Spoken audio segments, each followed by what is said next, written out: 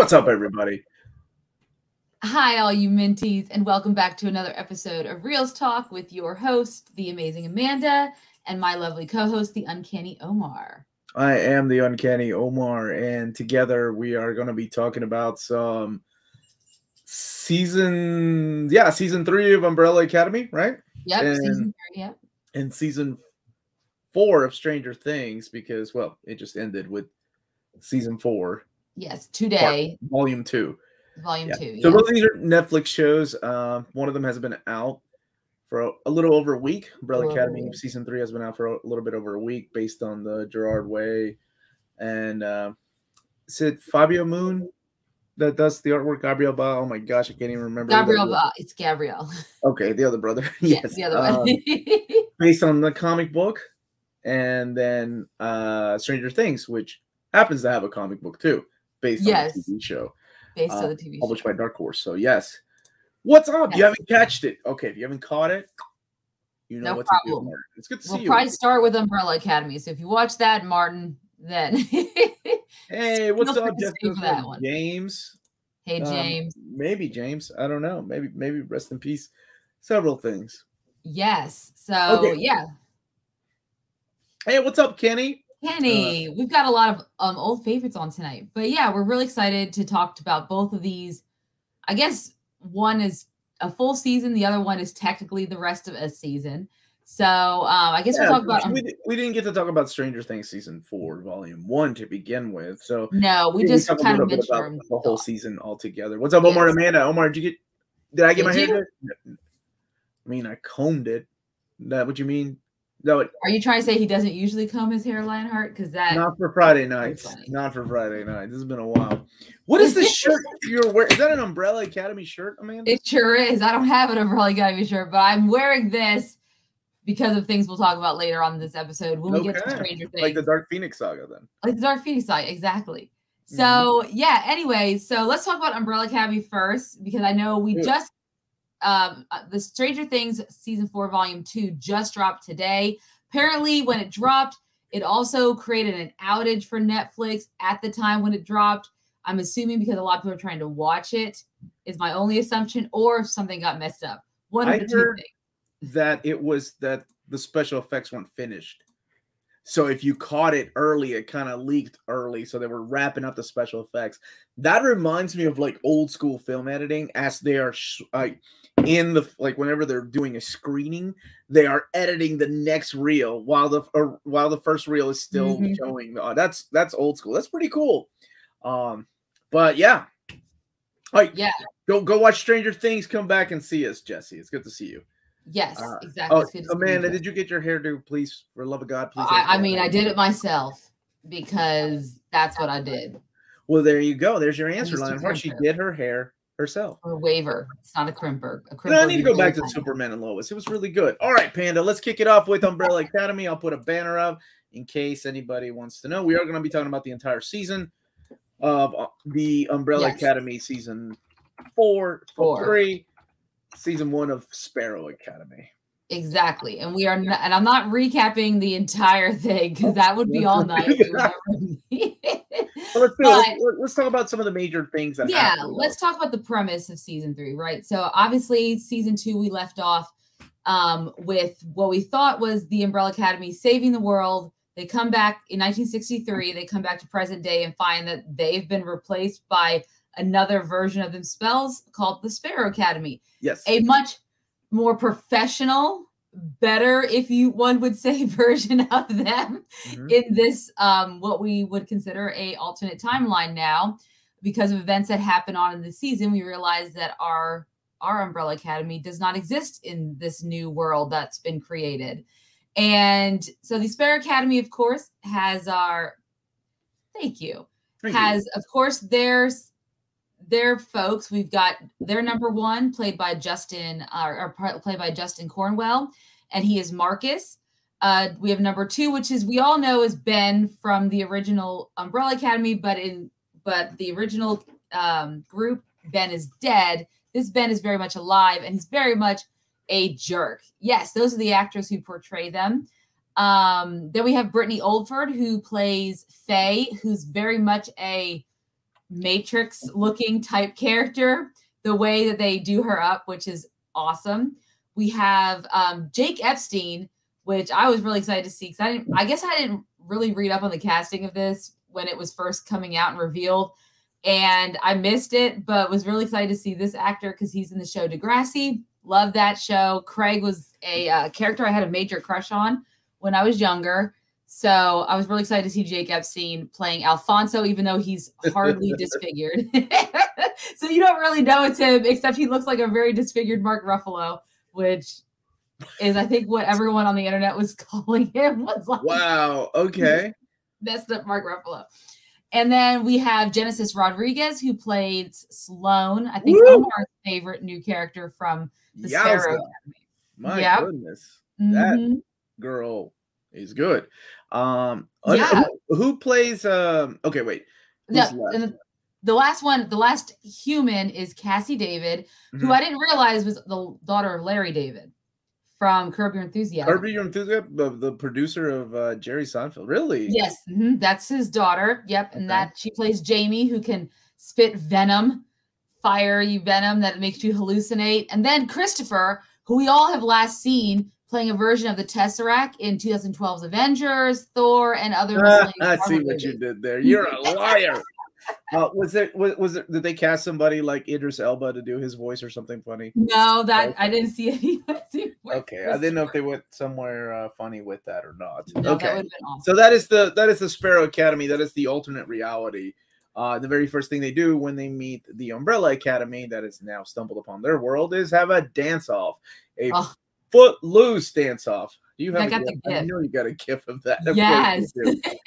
um, and this is all because of uh, the I guess the venom that's inside of uh, Diego, yeah, because she spits the venom on Diego, and he has this weird hallucination, if you will, of all of them dancing, um, dance battling to Kenny Loggins' Footloose. Which you know, it, it it wouldn't be a Umbrella Academy season if they weren't all dancing at some point, right? Uh right yeah I, Yeah, al- I always think that this show goes way out of its um like to, to to make sure that they have the music locked down so they have like the rights and stuff for the music for this particular show yes. I- now you know the version of um, House of the Rising Sun they used. Fun fact is actually Jeremy Renner's version that he. what yes. Well i guess if you got a if you have a failed app you might as well try music really Oh, Uh, I, there have, there I were- have some of Jeremy Renner's songs on my Oh, uh, my course. Apple Music. of course you do of uh, course I do.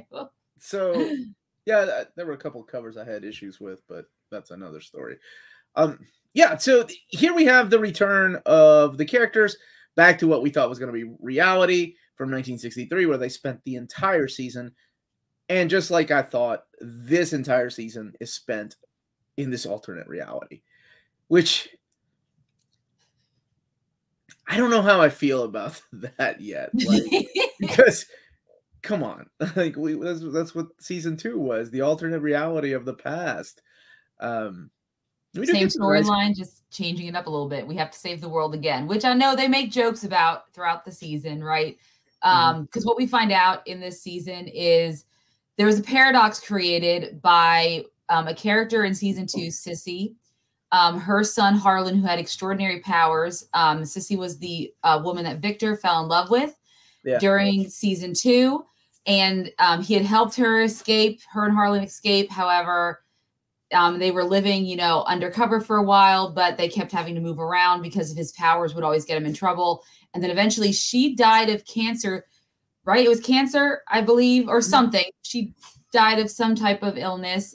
The same day, all of the people, kids with special powers, were born on October 1989. And it created this intense you know, anguish in Harlan and he lashed out. This power went over him and it killed all of the mothers of our original Umbrella Academy members. So they were never born, which creates a paradox because they never should be alive, yet they're in the past. I love time time travel, man. It's like, but uh, time travel and the different rules depending on who who is writing it and what you're Yes. looking at uh thank you for the super chat jack ferry uh genesis rodriguez that's what papa likes That's right. She was easy on the eyes. Yes. Um, the the the whole paradox is kind of confusing. Uh, but so before we talk about the paradox, though, what one of the things that I thought was handled really well was the character of um, you know Ellen Page. I think uh, for people that may not know, um, is now going by Elliot Page, and went and had um, yeah, like uh, the full it's full transition, right? Like uh, surgery Yeah, and everything. has, yeah. So yeah, I was curious how they were going to handle that here. I thought it was handled re- really well, like uh, Oh, the yeah. way that her family, or rather his family, after he comes out and says, "Um, Mhm. this is who I am. I'm now Victor." How his family accepts him. I thought was really sweet, and Yes. even rumor for a little bit. We'll talk about her in a little bit. yeah. Um, even rumor had, you know, it's really sweet the way she was holding her, and there, she was like, "There's nothing that you can do that will make me stop loving you." yeah. Uh, and then later on, um, Luther asked her or asked him to be his best man. I thought that was really sweet. it was. That It was, was a, really that was a good. really good moment. Yeah. So I thought that the, I thought that the writing and the way that it was handled for the show, it was done really well. At least I think in, in a way that uh, how do I put this? I think in a way to open people's eyes that aren't you know don't normally see this like every day Yeah. that Yes. don't understand things because I think like that's that's what happens with television and movies or or Mhm. books sometimes or comics. Uh, sometimes it kind of opens your eyes to this world that you may not be familiar with, and I thought that was a really cool way of doing it. Uh, Yeah. that- they don't. I mean, it wasn't in your face about it or anything. No. it was just there. It was just part of the story, and they moved on. Um, yes. And then he was just his normal character, um, which Right. still has his own host of problems from being his own the character that he is, and his relationships with his um his siblings, particularly uh Allison or Rumor, because that you know while they have that wonderful moment, Allison just had to go and ruin that wonderful moment with everything she does following to her entire family. Let's just say this is the year of superheroes who just get really mad when they realize their kids don't exist anymore. It is a thing. Yeah. So in season two is when Rumor actually built a family in 1963. So she had to leave that family behind because Yes. she thought, you know, she was going back to, to see the regular Claire and. Ray. Yeah. now when she wants to check up on that family she realizes that the daughter is is it uh what was it is it claire Claire, yeah, Claire, Yeah. and then her husband Ray. And but there's another woman. It's not her. right Yeah. so then claire Which I still have questions on how could Claire be Claire if Allison wasn't the one to give birth to her? Wouldn't she just be a different girl altogether? So maybe I'm confused by how that works. Man, time travel man Time travel. um but yeah, she takes it really hard. Um, it leads to an evolution of her powers that isn't, while more powerful, isn't pretty for a lot of the members of the family, including the um, really awful scene she has with Luther, where you know he's fallen in love with the Sparrow Sloane.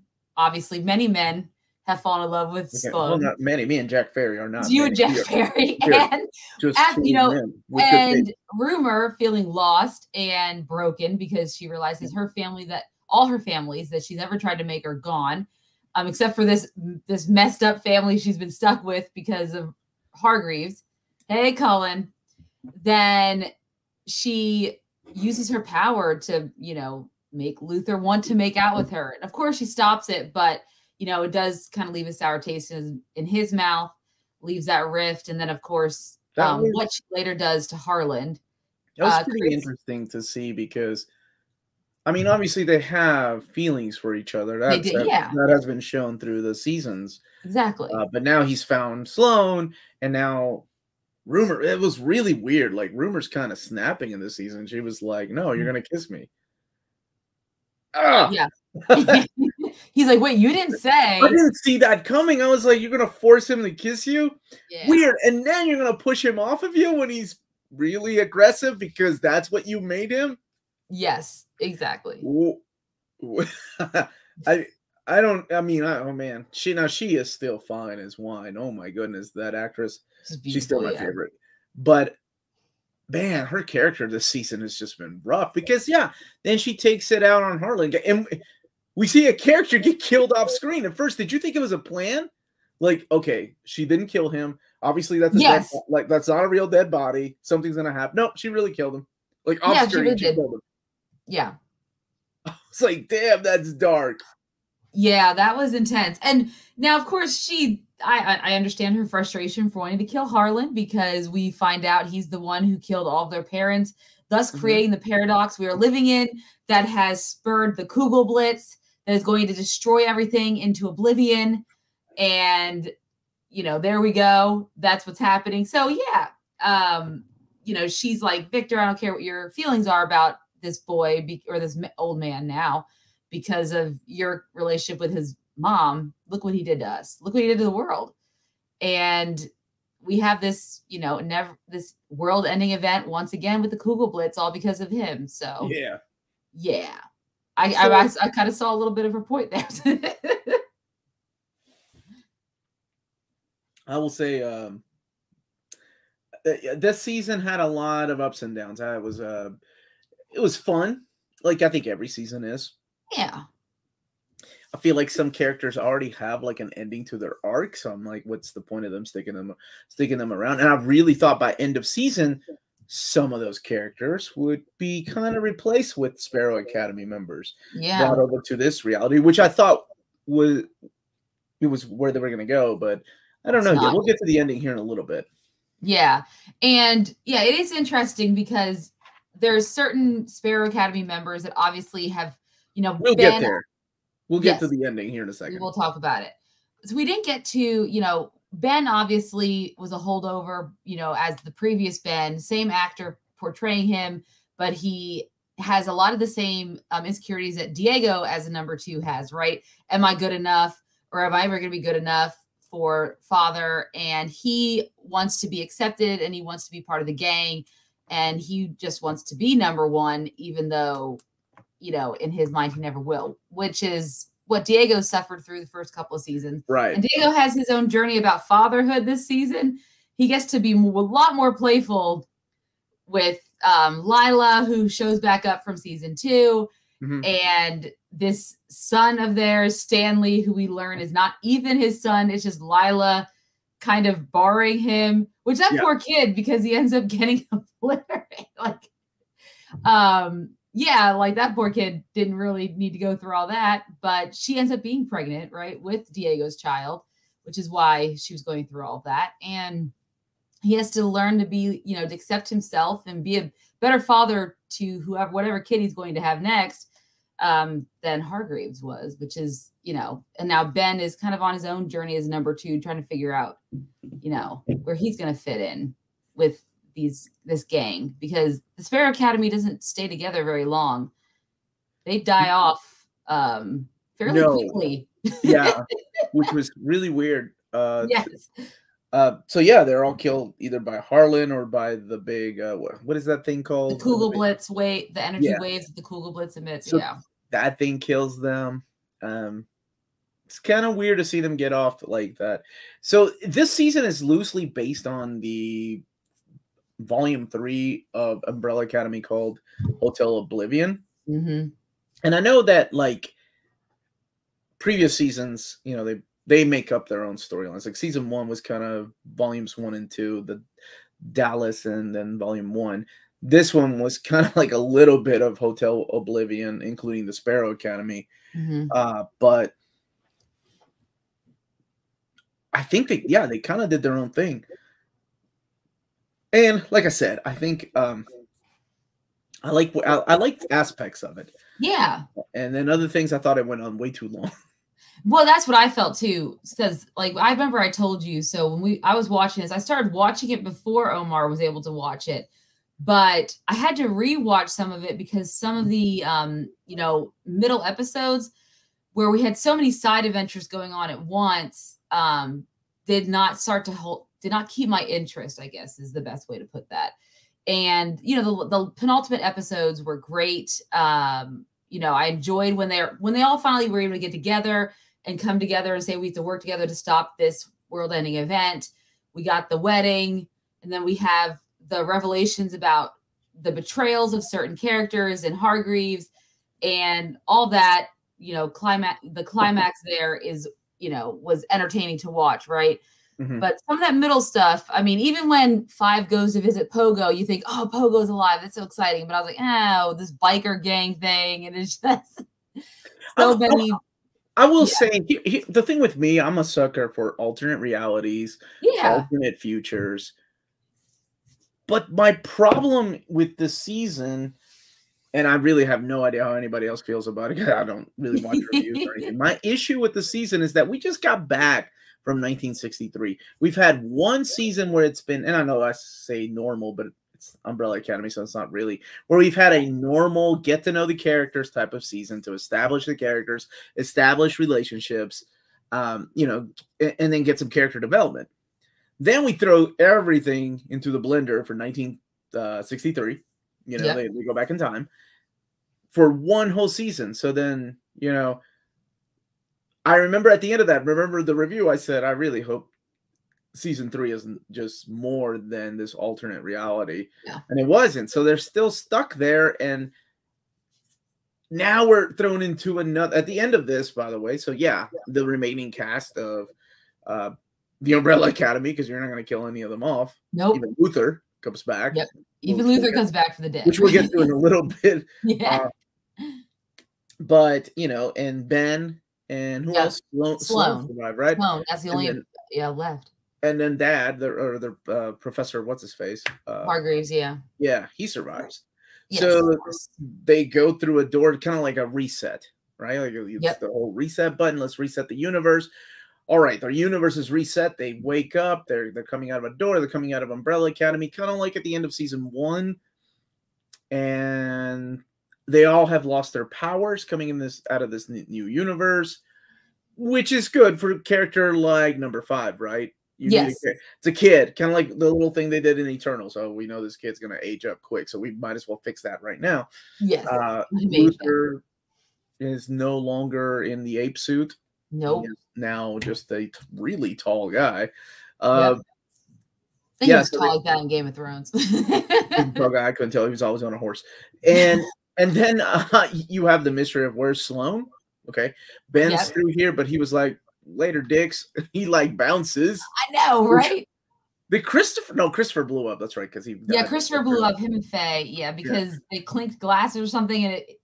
And then they're and then in a building, you know, from far away, we get a shot of uh, their dad still alive with uh, mom, right? The with the mom, yeah, and he's an is he an alien bug? Is that Well- what he is in the? yeah.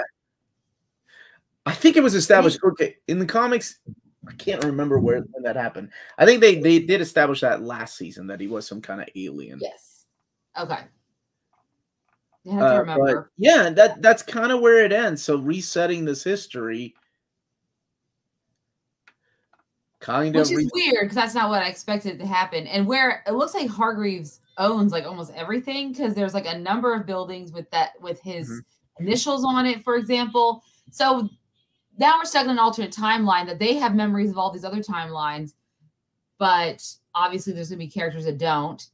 And then what what do we go from there? All right. So the question is, I didn't understand how the universe reset machine needed Mm. to suck their energy, but Allison stopped Reginald from completing it. So how did it, it, they end up with a new universe? Because she still pushed it, right? Like Yeah, I guess it was done, and all that. Yeah, I think they told her to push it, and they ended up she ended up pushing. Yeah, because she said, "Do you trust me?" So I wonder if he had stayed alive, would it, that have had the same effect? yeah, exactly. So there was no need to kill him other than dramatic effect. yeah, dramatic like I'm gonna I'm not betraying you guys anymore. I'm I'm sorry. I'm gonna kill our father for you. But she Mhm. still hit the reset button anyways, Um. which is what he wanted. So Steve Blackman, the Umbrella Academy showrunner, told TV Line this initially Yep. plan for TV series is only four seasons. Well, Yeah. I, they don't have any other source material. They have the world of Umbrella Academy, but that's not really the you know the main writer and artist on the book. Yeah. And who knows when? I don't know. Is My Chemical Romance touring? I don't know when the next. book They are. I mean, as far as Oh, I they remember, are, they, okay. they started. They're coming out with new um, music, so I guess uh, Gerard Way's a little busy. They've kind of done a reunited kind of thing. Oh, okay. So they're coming back. Uh, but so he may not be writing anymore Umbrella Academy. So it's really going to be up to whoever the showrunners are to think of how they're, you know, I'm sure Gerard Way probably gave him ideas of where he may want to go, similar like George R. R. Martin may have given the uh, Davids some idea of where the story. Yeah, I, and, and I think that's okay. Um, so overall, I think the season was it was fun, like the previous season. Yeah. I think the CG is getting worse though. I can't remember the CG being that bad in season two. Like when she's Yeah. spitting things out of her mouth, like the character from the Sparrow Academy, uh that was some horrible CG. Yes, uh, it was. Just lots of use of green screen and blurriness that kind of meshed the characters with the background. Just looks really cheap. Yes. Do you know, like, was there a budget cut? I mean, I know Netflix was losing money. uh, but- yeah. But, I thought that was after this season had already been filmed because it, it seems like they got really cheap with this season as far as like special effects. Um, because I, I, mean, don't know. Go ahead. the other than the hallway scene in the big library, I can't. I I don't know of any other like sets that they had to build for this season. They Yes. spent most of their time in those specific areas, so I can't remember if there was an actual set build. You know, But you're not the only one who thinks that. I mean, there's like Uh. a couple of now I know that the um I think it was 2021, the whole main cast negotiated um pay raises to at least $200,000 per episode. So if they were going to have to cut back so that they could keep the stars they have um doing the show then yeah there it probably came from somewhere and maybe it was the uh, special effects budget and that's why the cgi is looking a little mismatched and the green screens in the backgrounds because they had to pay their actors more. There that could have been one of the reasons I- um it just, it was it just looked yeah it looked bad. Also, the ugly face guy had really bad makeup, and I mean, there is a reason why Luther walks around with a shirt on, right? Like, yeah uh, because you like- can't have his ape suit on like that's a right they're not going to do that the whole time and Yes. it seems like and honestly like uh, the I ending remi- the the very ending reminded me of that i'm like oh next season they're not going to have powers that means that like they're going to have to they definitely going to save money that way because oh yeah like i mean no special effects with the stuff they can do I Oh, and yeah Ru- rumor's also missing at the end because she's back with her family so is that something like is the reset button something you wish for Well, that's what um because I think uh Unique was saying she Mm-hmm. removed Sloane since she's the one who pressed it. And but that's such a dick move because she went back to I know she goes back to her daughter and her husband, and then poor Luther has no one. Like that's not That- fair. that's but he has his normal body. It's not like he won't find someone else. He's not a bad looking dude. He's Okay, kind of bright. hey, I what? give you Nobody- this. Luther's not a wants, to bright guy. hear, nobody wants to hear, hey, you're not a bad looking dude after you lost your wife. Like that's the last thing you want to hear. You're gonna bounce, you're gonna bounce back. You're gonna be all right, dude. I don't think anybody really needs to hear that right No. after, you know, he's like, Where's my wife? Um yeah, I don't know. This uh th- yeah, I'm not gonna downplay. There was some bad CG in this season. There was. yes. and I think all the money went to if you if you're if what you're saying is right, then the the actors, which of course deserve uh some of that. I don't know how Netflix determines who gets what though, because it's not like it's a movie, right? Like, oh, we made so much money, like we can justify paying them this, or a TV show where the ratings are in. I don't I don't know how ratings work for streaming, but uh I think that and the music, even the Oh, cover that's- crappy Jeremy Renner music, uh, just great.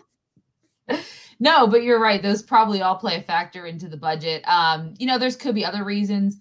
I'm sure it because I think it was being filmed, um, you know, height of pandemic. Um, so there could have been some that could have increased production costs, which could have then affected costs on the back end um, when they're trying to get everything ready for for release. So that could have been a factor as well, because all those increased protections they probably would have had to take once they were allowed back on set, etc. all that costs money, right? And I Yeah, think a lot of shows um, have cited those rising production costs because of the COVID 19 pr- pandemic. So Okay. Yeah, that could have been another issue. So let's talk like, so, you know, we talked a little bit about like overall the season, the different plot points that we have kind of come across. What are your thoughts on how obviously we're back in another alternate timeline, which you're not too uh, keen on, Mhm. but overall how the plot was handled? How do you feel about that? I, okay, so um, I know we're talking about Stranger Things here in a little bit, We but. I, I I both like and dislike the idea of separating characters. I think characters work together as a unit and feed off of each other. That makes a good show yes. when you have different personalities coming together, and you know Mhm. that's that's what made Arrested Development so good. At least seasons one through three, Yes. and then season four is they separated all the characters, giving them their own spotlight and sh- episodes, and that kind of ruined the show for me anyway. Uh, yeah. and I feel like they did that in season two with this show, separating the characters, giving them their own little storylines. I think it was great. You know, Victor found love. Uh, so did Allison. Uh, I guess in a way, so did uh, what's his name with Layla. Um, Diego. Yeah. yeah. And then this season they were doing the same thing again, and then turning characters on each other, like this family on each other, Mhm. with the same kind of plot device that we've had in the past of loss Yes. like the whole white violin story arc, right? I, I think it's like Mhm. going back to that, but now we're using rumor. Um, still fun. I had fun. I wanted to get to know the characters of the Sparrow Oh, yeah. uh, Academy. Uh, quirky characters because you need quirkiness when it comes to this particular show. And when I'm always asked, what do I like better? Do I like the comic or the show better? I actually like the show better because Yeah. the comic is just kind of bland. It's kind of like, and I like Gerard Way. I like what he did. I love that he's a big fan of X Men and Doom Patrol, but it does feel like a poor man's Yeah. X Men Doom Patrol. Like that's it. There's nothing really that stands out uh, quirky about it. Yeah. I think I really think what helps with the show, what makes it for me a little bit better than the comics, which I've read um, you know, The White Violin and then of Dallas, but I've never read Hotel Obliv- Oblivion. But what makes it better is the actors, right? I mean, Mhm. they just bring the characters to life so well. And I guess that would in turn be the writing as well. Is not that is not terrible either. It's pretty good. So I think those two combinations help to make the show just edge out a little bit more there. Yeah, uh, absolutely. I agree with that. Yeah. So I think it's you know it's a good mix of that. So Yeah. throwing in a whole new element of other characters, I thought it was going to be enjoyable, and I wanted to follow it for that aspect. But then we're back into the same routine of characters separating and being by themselves instead of getting to Figure out this, the mysteries, right? Yeah. And by the end, I really wanted a kind of a new cast. Like, okay, this is gonna, you know, you kind of fanfic things in your head. Obviously, Luther and Sloane are gonna stay in this dimension, and the siblings are gonna go on without him, replacing him with Ben or somebody. Is the way that I thought it was gonna end, but instead we reset it. I assume that's because of contracts or whatever. Yeah. Um, yeah, that's yeah, that's pretty much what I have to say. The, the plot line was okay. I think I enjoyed season two a little bit more. I think season two had a little bit more heart, other than the Victor thing. The way that the Victor thing was handled in this particular season, I thought that was beautifully done. Um, I'm trying to think. What what else did I like? No, I guess the love story between Sloane and Luther was pretty good. It wasn't terrible. It wasn't ugh. Yeah. I mean, it was, you know, Luther's an interesting character for me. He's not he's not one of my favorite characters. They've tried to really give him some more to do in this season, um, make him quirkier, I guess, than what he originally was as like the number one. Uh, which I don't know if that hurt or helped his character just by, you know, overall for the whole season. But, you know, obviously they when they write the characters, Klaus, they write well. He they give that guy, you know, he just takes that character and runs with it. Him and Five are always going to be standouts. Um, even when they go off on their own little side stories, which they typically do uh, for for every season, they've seemed to go their own little stories that kind of veer off from whatever everyone else is doing. But it was cool to see them. You know, you got to see Klaus and Diego like team up together, right? In this season, a little bit. They had some interactions, which is great. You got to see Rumor and Diego team up, which you Yeah. never really see. Like when No. they go and pick a fight with those racist folk, I guess, to, for lack of a better, That's right. Yeah. um, the just to get some aggression out. I thought that was Yeah. pretty uh, unique because was. those two characters aren't really with each other a lot. Yeah. But I think what really like what I was hoping for, and I think you kind of hit it was not necessarily character reset, but you added all these Sparrow Academy members and they some of them got like Alfonso, for example, or even um Faye or Christopher the Cube. They uh didn't get a lot of screen time and then they're unceremoniously very killed like killed off Um, Marcus in particular, that poor guy. I really thought because he's an actor who two, two episodes or one. Two- I think it was.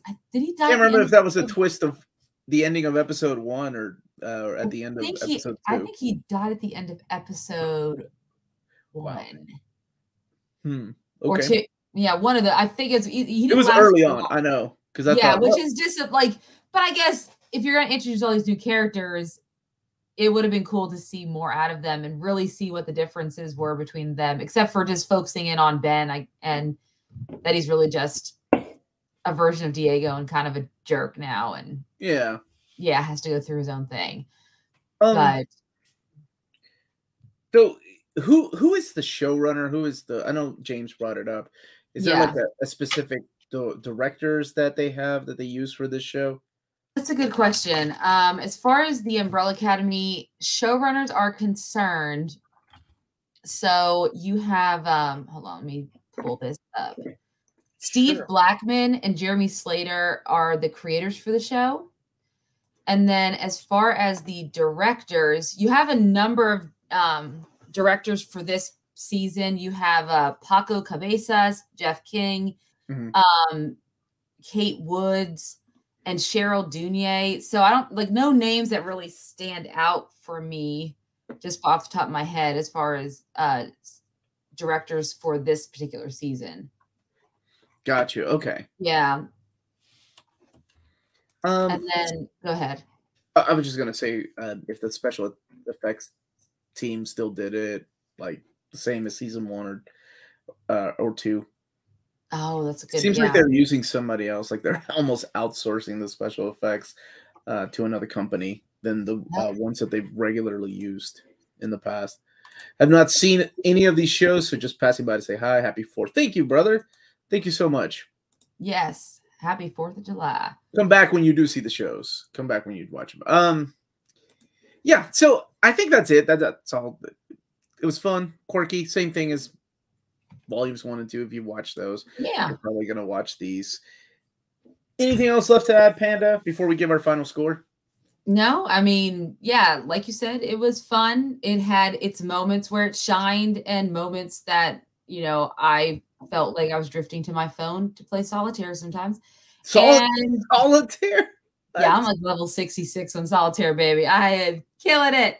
Uh, and also mining uh cur- Bitcoin currency or something. I don't know what I'm doing on this app. But anyway, go other than that, it um it has you know it gave us another alternate timeline. It gave us another world ending event. Kind of would like to see maybe season four not be about the world ending and maybe we can try a different avenue. You know maybe the season's about them navigating without their powers.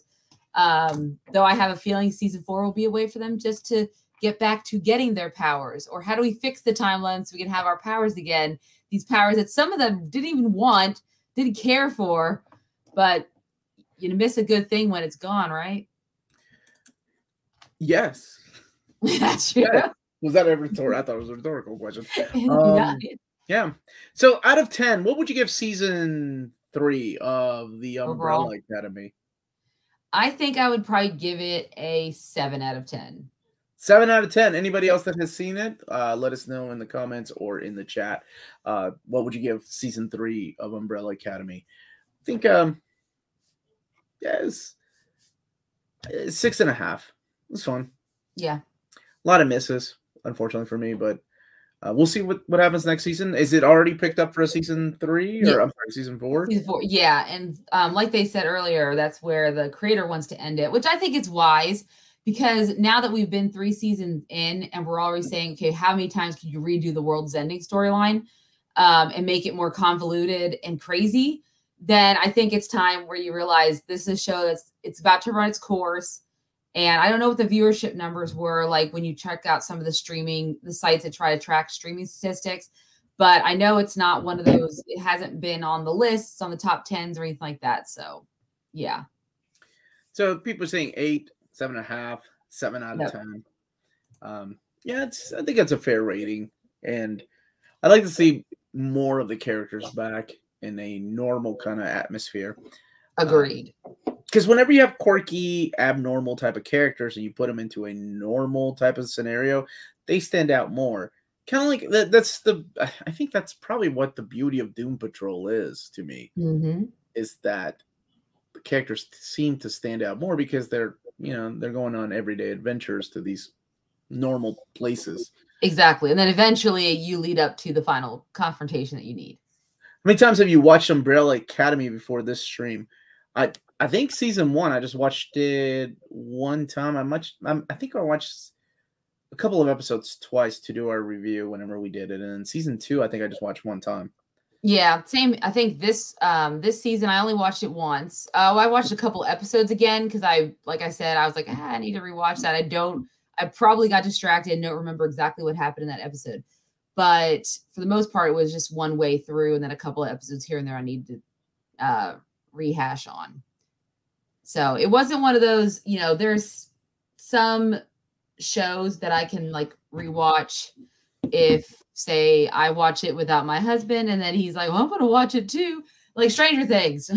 this season I've had to rewatch several times all the episodes out. Except for volumes, uh, volume two, because they're they're each like two and a half hours, and Well, the I first only have so many hours in this Friday to do that. the first one was an hour and a half. The second one was two and a half hours. yes, Uh because we my my oldest daughter and I watched it today. Um, so yes, that's our review for that part of the episode. Let's want to move on. yeah. Let's talk about Stranger Things.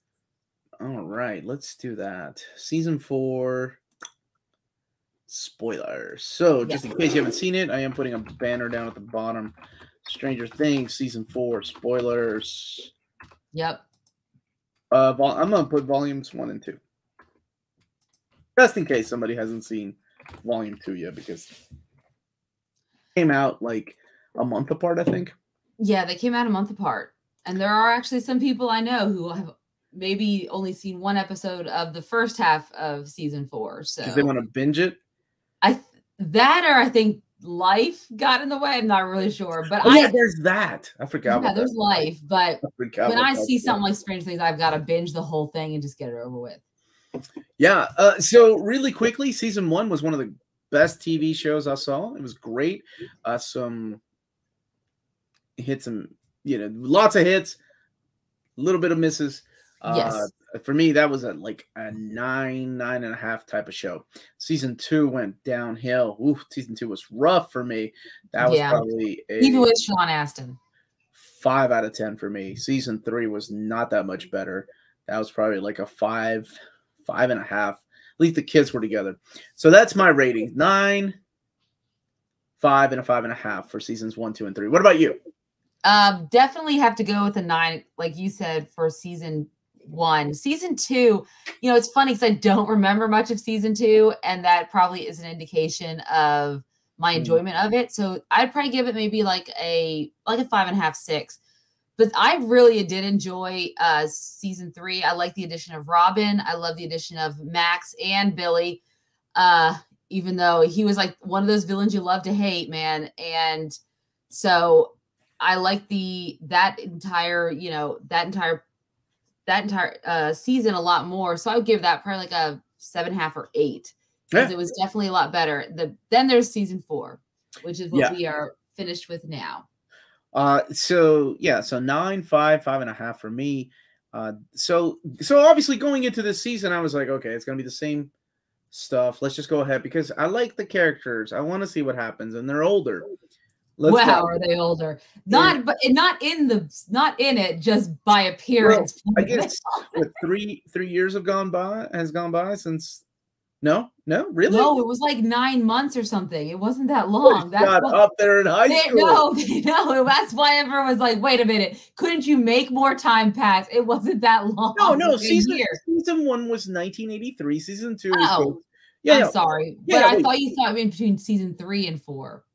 No, no. Okay, so season yeah, season one was 1983. Season two was 1984. Season three was 85. This season is 86. Yes. Uh, okay. Okay, Dom's like, what? Nine months? Holy crap! Those kids have aged. Gotcha. Okay. Uh, sorry. so yeah, we we have Stranger Things. They're back. We have a background for Stranger Things. I did. I put one in there. Yeah, It's okay, just the Stranger Things 4. I, I got you. I got you. There we Yeah. go. Ooh, that's Now- cool. I like now that. it's It's a nice background, actually. It works. So it's three years in the Showtime. Showtime. Okay. Yeah. Okay. All right. So in this season, we have something new. We have a new nemesis. We have a uh, something evil uh, that is lurking. You know, started with the big. Uh, what what the hell did they call it? The Not- season the season one the monster. Oh, not the Demogorgons, which yeah the Demogorgon from The season. Demogorgons. Yeah, so started with that. Then the dogs from season two. Then the Yes. big Cthulhu. the hive mind. Yeah, Yeah. three. And then this, it's I remember watching it with my daughter, and I thought, oh, this is like Freddy Krueger territory. Kind of gives him a character, and I kind of like that. I thought that was really cool to do in the show. Uh, Yep. And sure enough, I mean, they obviously it was very blatant, ba- basic, uh, based on Freddy Krueger because they even had Robert. Had in the background at Blockbuster or the video store. Well, and then they had Robert Englund in that character. Um, you know, the character that he played at the scene. Rest in peace, Vecna's knows. Yeah, let's talk about what, when you become a villain, how do you lose your nose? How does this happen? What, what I mean, that's creepy. villainy takes my nose away. I've lost my sense of smell. So there is a lot of things to talk about. So we're focusing on the last two episodes. Amanda, you are the best at doing recaps. Can you give me a quick recap of like what happened previously? What did we learn about Vecna? What what's happened to the why they Yes. get separated? So Vecna is our primary villain in this season, and by the end of this season, maybe next season, it Maybe. sounds like. So Vecna is actually um, a man, or was a boy named Henry, who had intense telekinetic powers. He also was very dark and had a very dark, you know, mind, and ended up killing his entire family. And what he did is like he contorted their bodies, he tore their eyes out, but he from the intensity of his power, he passed out. Everyone thought his father did it. His father was played by Robert Englund later on as he was an old man. Um, because all this takes place in the 60s, I think. Yeah, 60s. Yeah, around the 60s. And so um the man gets sent off to prison. The little boy doesn't didn't die, but his sister and his mother are dead. And so Dr. Brenner, who we all know from the first season, and this season, because he didn't die when the Demogorgon attacked him, surprisingly enough, he managed to live after season one. We just haven't seen this whole time. He uh he has actually the the initial beginnings of the program that Eleven becomes a part of later on when she's born.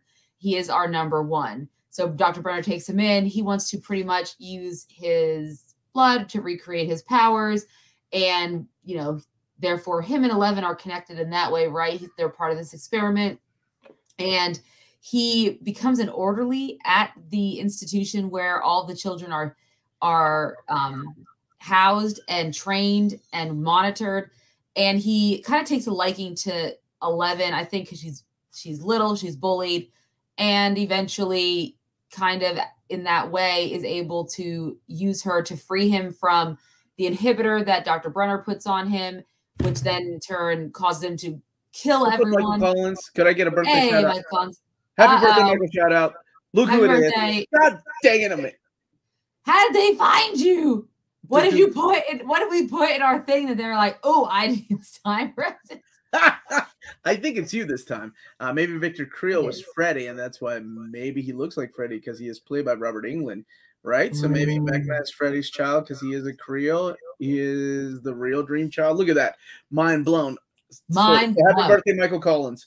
Um, now, Yes, and so after he kills everyone, Eleven sees what he's done, and she's the one who ends up using her powers to create the first portal into the upside down world, sending him into the portal, and then he becomes this Vecna crazy version of himself. And he eventually finds that hive mind, takes control of it, essentially, I guess is the idea. And now he's kind of in control overall of everything happening in the upside down world. So he's our we fi- figure out he's our big bad that you know has been in Will's mind this whole time since season one. Um, him and obviously he's out to get Eleven in some way because of what she's done to him, and he's out to get the world because he feels like mankind is awful and you know a restart. Maybe he wants to restart the world too with uh, the upside down world. crossover, crossover. Yes. So of course, you know, he's doing things in Hawkins and, you know, killing off um, teenagers, which lands a teenager, Eddie Munson, in hot water because everyone thinks he's killed someone. Um, a cheerleader that he did not kill. She was just you know, happened to be in his trailer when he was selling her drugs, and then Vecna got her. And he targets um, certain students with traumatic past who have been, you know, their minds are weak. They're dealing with a lot of trauma. And of course, he also gets Max. Um, and she's kind of been a she was a victim. They have an amazing episode early on in the early volume where Kate Bush is running up the hill, helps her as well as memories of her friends get away from Vecna, even though we come to find out Kate Bush is running up the hill. Yeah, Kate Bush herself is running. I was like, Kate Bush is running up the hill. um, I was, my daughter was telling me that that song is so huge on TikTok right now. Yes, and I love it because I, I saw a meme, you know, like when uh, Michael J. Fox, his character in Back to the Future is playing Johnny B. Goode, and he's telling them, he's like, uh, well, you may not be ready for that, but your kids are gonna love it, right? So they, they're saying the same thing about Kate Bush's song. Yes, like it was hilarious because I don't think anybody really respected the song back then. No, I don't even think, as far as chart wise, back then in the '80s, it did particularly well. I mean, everyone was like, "Yeah, but that Tiffany, I think we're alone now. That's a hot jam." that that's that's everybody's TikTok jam this week. Where all the hoppers bald at some point. First there was Sarah, then Eleven, then Hopper, then Eleven again. They should be called balders. Oh my god! Kate Bush must have bought another yacht from the streaming. Yes, royalty. I hope. So. I really hope so. I really I like when yes. an old artist like that. Like, well, it reminds me of like all the music in uh, what was it that we found? Uh, oh my gosh, it was the songs. It was like '80s type of music, but it was done by a foreign band. It was another show that we reviewed, and not oh. Eurovision. Oh. Oh. Anyway, doesn't matter. Let's keep going. Keep going. Yeah, let's keep going. I don't know, but now I'm like, what? I need to read. Anyways, so of course, every all these events because of what Vecna's doing gets all of our group involved. But in volume one, they're all separated because, of course, at the end of season three, or at the season, yes, season three. Um, I'm getting Umbrella Academy this one mixed up now. Like, who has how many seasons? You got it. You got it. Yes. So at the end of season three, the Byers, um, after they thought that Hopper was dead, moved away, moved to California, and took Eleven with them, and kind of like adopted her as their as the daughter. Joyce mm-hmm. did. She's a good woman, and um, and then she also you have Mike going to visit them for spring break. So he's with that crew in California, but then you have um, Nancy and Steve and Dustin um, and Robin all trying to help Eddie.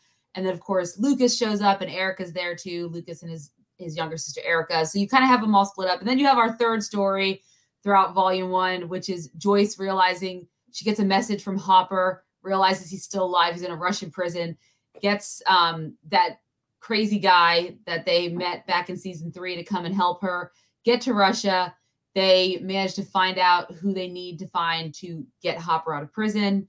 And yeah, and this this second half, volume two, boy, the jokes about how much weight Hopper lost. What is it with David Harbour and the weight jokes? Because in Black Widow, they were making a lot of jokes about him being like overweight and stuff. And then of course, there's a lot of jokes in this one about just like, wow, you look like because he lost a lot of weight in prison uh, when he was locked up by the Russians.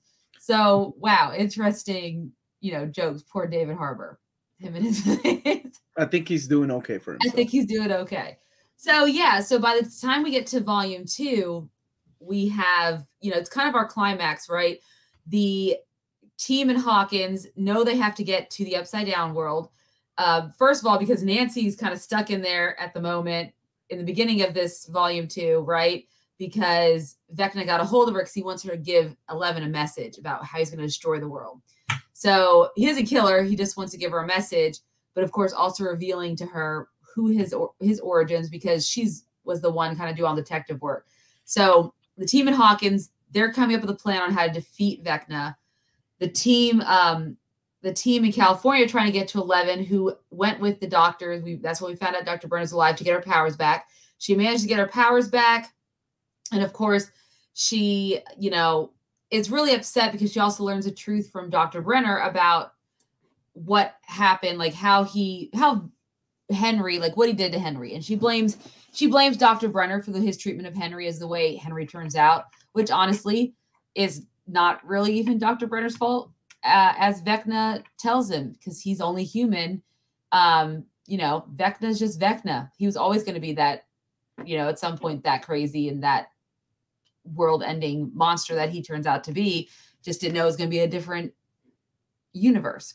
Uh, so you have that storyline where they're they're meeting up, which they inevitably do in this volume, right? Um, even though the military's after her, some secret government organization to try to capture her or take her, because they're blaming her for what's going on. Um, she has her powers back, so she's able to stop them and kill it. Of course, Dr. Brenner dies in the process. This time, I think for real. Dude, she took yeah, this time for real. She takes down that helicopter. yeah. Like the Dark Phoenix. I was like, okay, that's cool. Not only that, but she crashed like crashes the helicopter on top of Yep. the other military uh you know police that are there. Could you imagine her, her Darth Vader and like a force off? Like who would like? Uh Darth Vader. Okay. I go. mean, why is that even a contest? what? what are we talking about here? Um. So yeah, that that they they go and they realize even though they're all separated, they can still fight Vecna like their own way. Oh yeah, And I exactly. love that. I love that plan, man. I thought it was cool. Like Yes. all the kids planning it. Like, okay, we're gonna go get guns. We're gonna. I was hoping for a montage. We're gonna go get weapons. yes. you know, Max is gonna Max is gonna lure him, and then we go to the underworld. And while he's busy trying to get Max, because you know they point out the fact, wait, we know Eleven, you know, we know her weaknesses too. Let's Yeah. use that against Vecna. So exactly. that was cool. So they all have a role to play in this, even though they're all separated. Because yeah, even Eleven realizes that she can help Max out. She can fight Vecna while you know they're far away. exactly. Even the stupid Russian plot point, which I couldn't stand in Volume One. I know. Florida had something relevance. They were able to they could they broke back into prison to kill the Demogorgons. They realized, oh wait, they're part of the hive mind. If we destroy them, we can destroy part of the hive mind.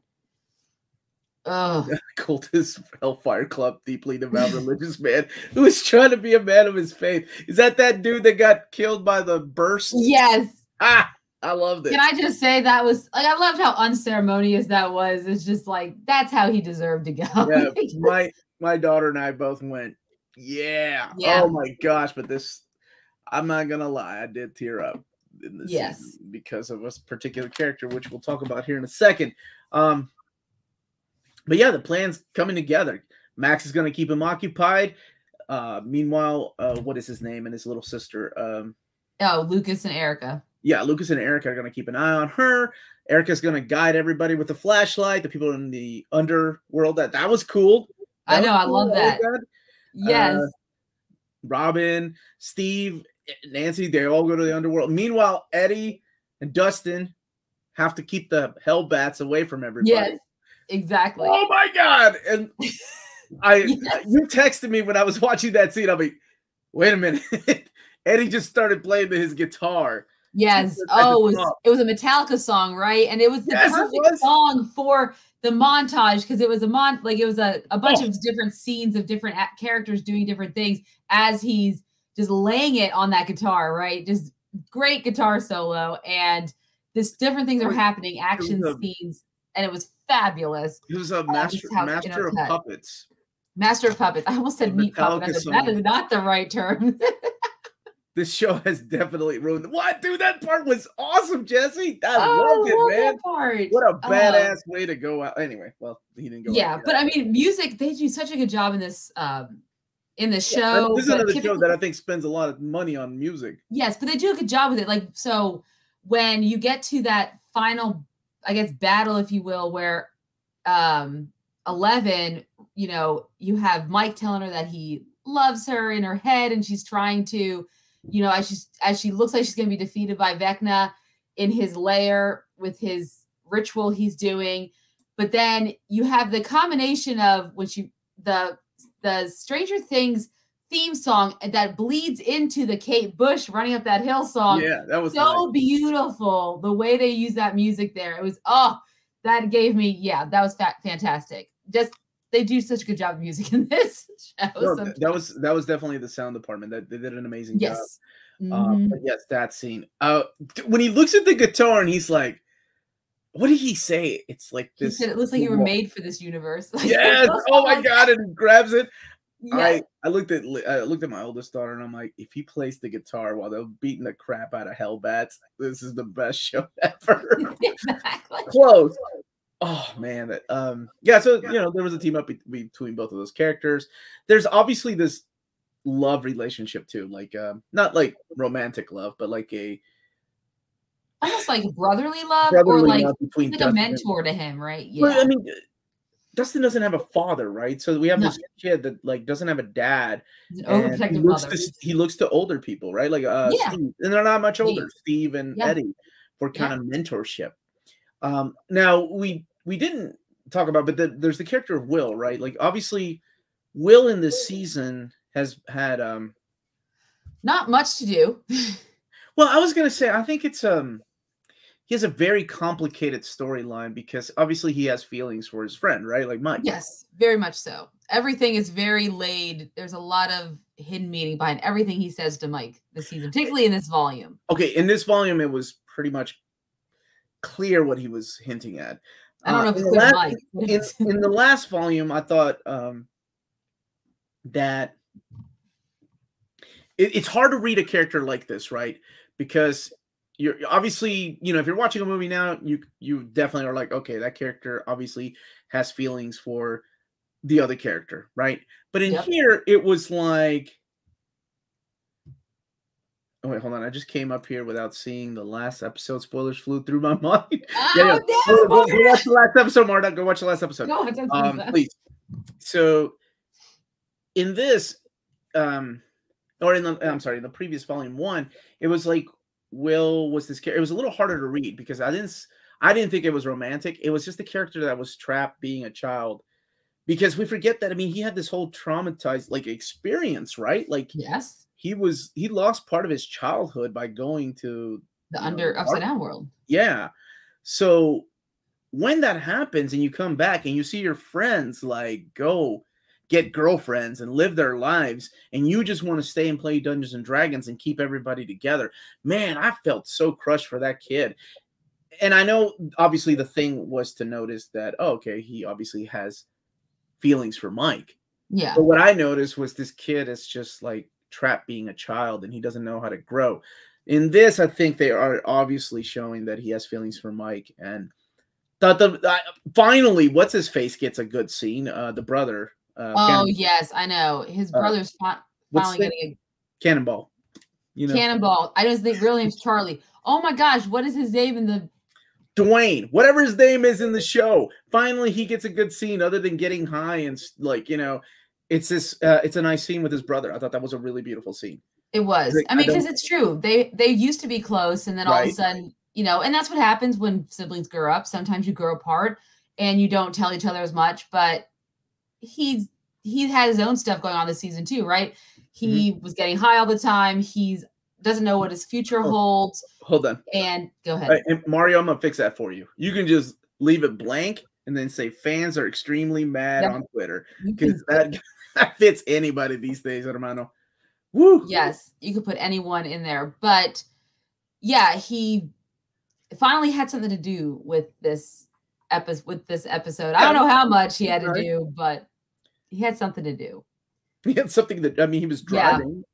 He was driving. Yeah, he He's did come up with some good ideas, but so did his friend with the uh, freezer and the the six hundred pounds of salt Salt. from the pizza shop. And I love that he made an actual pizza while he was also doing all that. That was fantastic. Little in your face with that pineapple, though. That was fun. hey, yeah, I know, but I do love in your face pineapple. about that. I don't know if in the '80s people were tripping about that as much as they are now.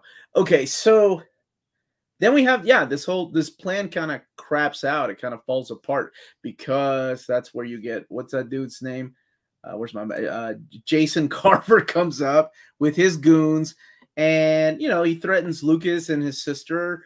Obviously, at gunpoint, he threatens Yes. Lucas, and I'm glad that Lucas beat the crap out of that kid. And I'm Me glad that. Lucas kind of came to be. He was like, I, you know, when he was beating the crap out of him, he was like, I thought I wanted to be you guys. I Yeah. thought I wanted to be popular. That's not, you know, you're you're you're not what I wanted. Thought that was No. a nice touch. That was a nice touch. The season had a lot of good moments. Um, so Oh sh- dude, I thought Max was gonna get killed, and at first I was like, "She's not my favorite characters if they're gonna kill one of the kids." Or you know, uh, I I was hoping they killed the dude that got high, but what? I Dude, have been okay with that. Michael Cleveland, go back and watch the show and Yes. come back, and then it's our job. We have to do it. Okay, it's not our job, but we also have to. What's your I job? do anything. I was waiting on AT and T all day. Carry He's on. still waiting on TT, guys. I don't. AT&T AT&T ain't come. You should be shocked he has internet and that we're doing this right now. Yeah, I don't know how I'm doing. it. I am so tired and angry. Okay, so yeah, the the plan falls apart. Everybody gets captured. I I have to say, I got to give this show props too for using tentacles the most classiest way that you could use tentacles. Because anytime I see tentacles, it always goes back to anime. Not even hentai, just anime. Don't don't you shake your head. me. the, when I think of tentacles, the first thing I think of is ooh, tentacle. Like, exactly. I just think of Well, um, even I would never want to get stuck with a large giant squid in the bottom of the ocean. Uh, you know who would the deep. the deep would love The it. Ooh, love that is now that's also what I'm gonna think of when I think of tentacles.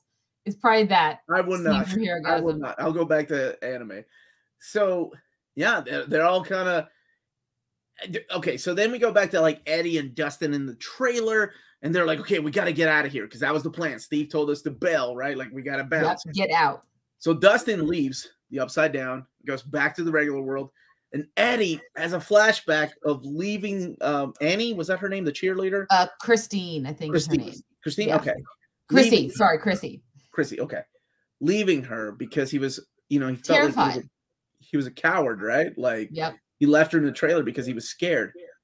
But not this time. He was like, I he didn't run. Oh my god, he got on a bike with his trash can shield and his Yes. sword. What a badass. Yeah. Ah, Well, let's yeah, and then of course that inevitably leads to a, a scene. We had a so we had several deaths this season, right? Or this yeah, that the the last part of the season. Well, Yes, did, we- did Dr. we have Brenner, several? huh? Did we have several deaths this season? I just thought of him and the Well, I mean, like, well, besides the characters that died at the hand of Vecna, but this the last two in volume two alone, we had Dr. Brenner, Mhm. um, and then of course Jason bites the dust, and then of course the one a lot, a lot of people character? Does anybody care about Jason? I don't know, but a lot. Well, I was happy that he died. I now the other, now there's one person who hasn't died that I would like to. That's that bitch who Well- did what she did to Eleven. What was her name? I don't care, but she needs to Oh, get she some. got her nose broken with the roller skates. That was bad. But badass. still, Eleven gets in trouble for it. It does. Yeah, she didn't get her just desserts yet. I But if like. Eleven didn't get in trouble, it wouldn't have rolled Led into to the series of everything that we've- that It's got her into a freezer at a the hell's the name of that pizza place? Surfer's Pizza is that what it was called? Pizza. Sure, Yeah, right.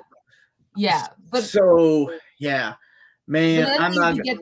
Go ahead. No, no, you go ahead. I've been talking. No, then we get the this the, the death that I think a lot of people are like, well, obviously because he's a beloved he became a beloved character because they wrote him so well. Of course they're not gonna they're gonna kill him off because why wouldn't they? Stranger Things, thank you to Bob and um that cute little Russian guy in season one.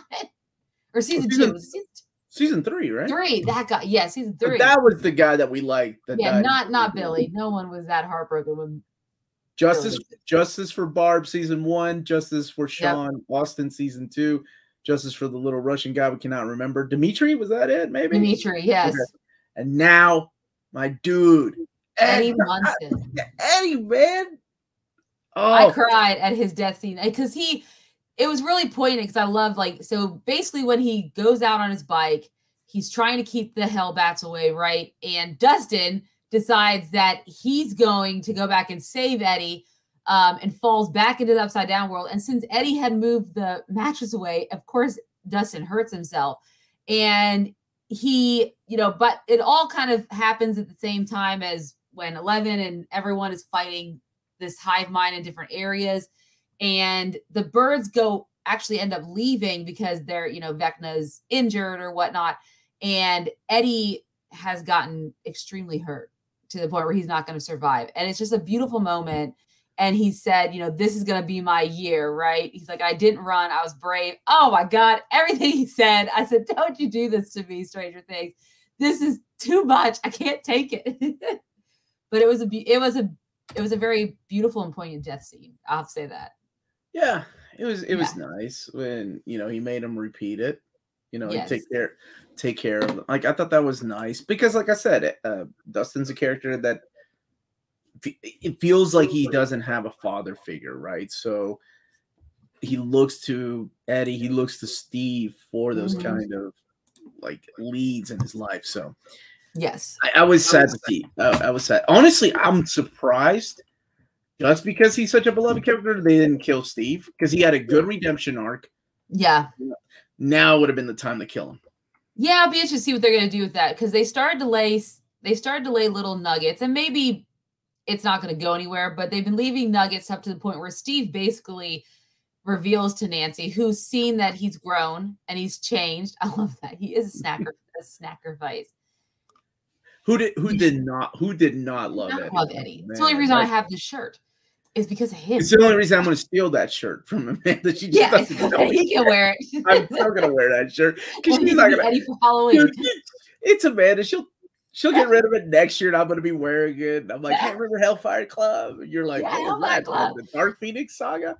Um, yeah.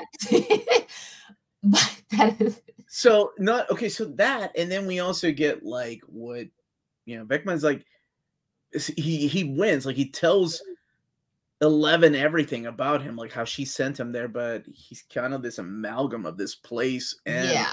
number one. And and even though it looks like she defeats him, she doesn't really defeat him. Um, she just hurts him.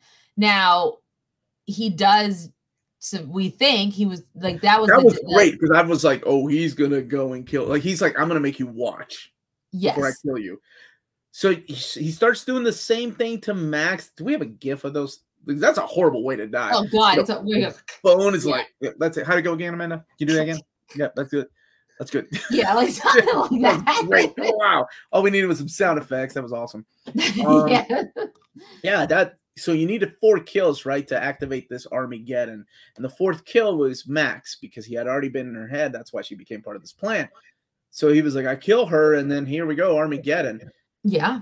And then Mike, being the heart of the group, was like, No, Kind of like what I always say, we need uh, Mickey, right, for Rocky. Get up, you yep. son of a bitch. kind of like that, right? Like I love you, need, yes. except it was like about love. Like I, I love you, Eleven. I've always loved yeah. It's like Samwise Gamgee. Without him, Frodo never would have made it to the mountain. Don't you make me cry, bitch. I know, but it's true. I love that scene. I love that scene. All right. Woo. Okay. Um, yeah. where were we? Yes. You're about to cry about Because I love that. That's the that's the most beautiful scene. Are you talking about in Two Towers when he's like? No, I'm talking about you may not. I may not be able to carry it, but I can carry carry you. you. Yeah. that gets about Sean Astin bringing some heartfelt roles to from page a, to screen, oh man. Oh my god, my friends, you Neil to know. Get get out of here. Stop it. All right. Yeah. Back to the show. So yeah, we think Max is getting killed because her body's all like she's got blood coming out of her eyes.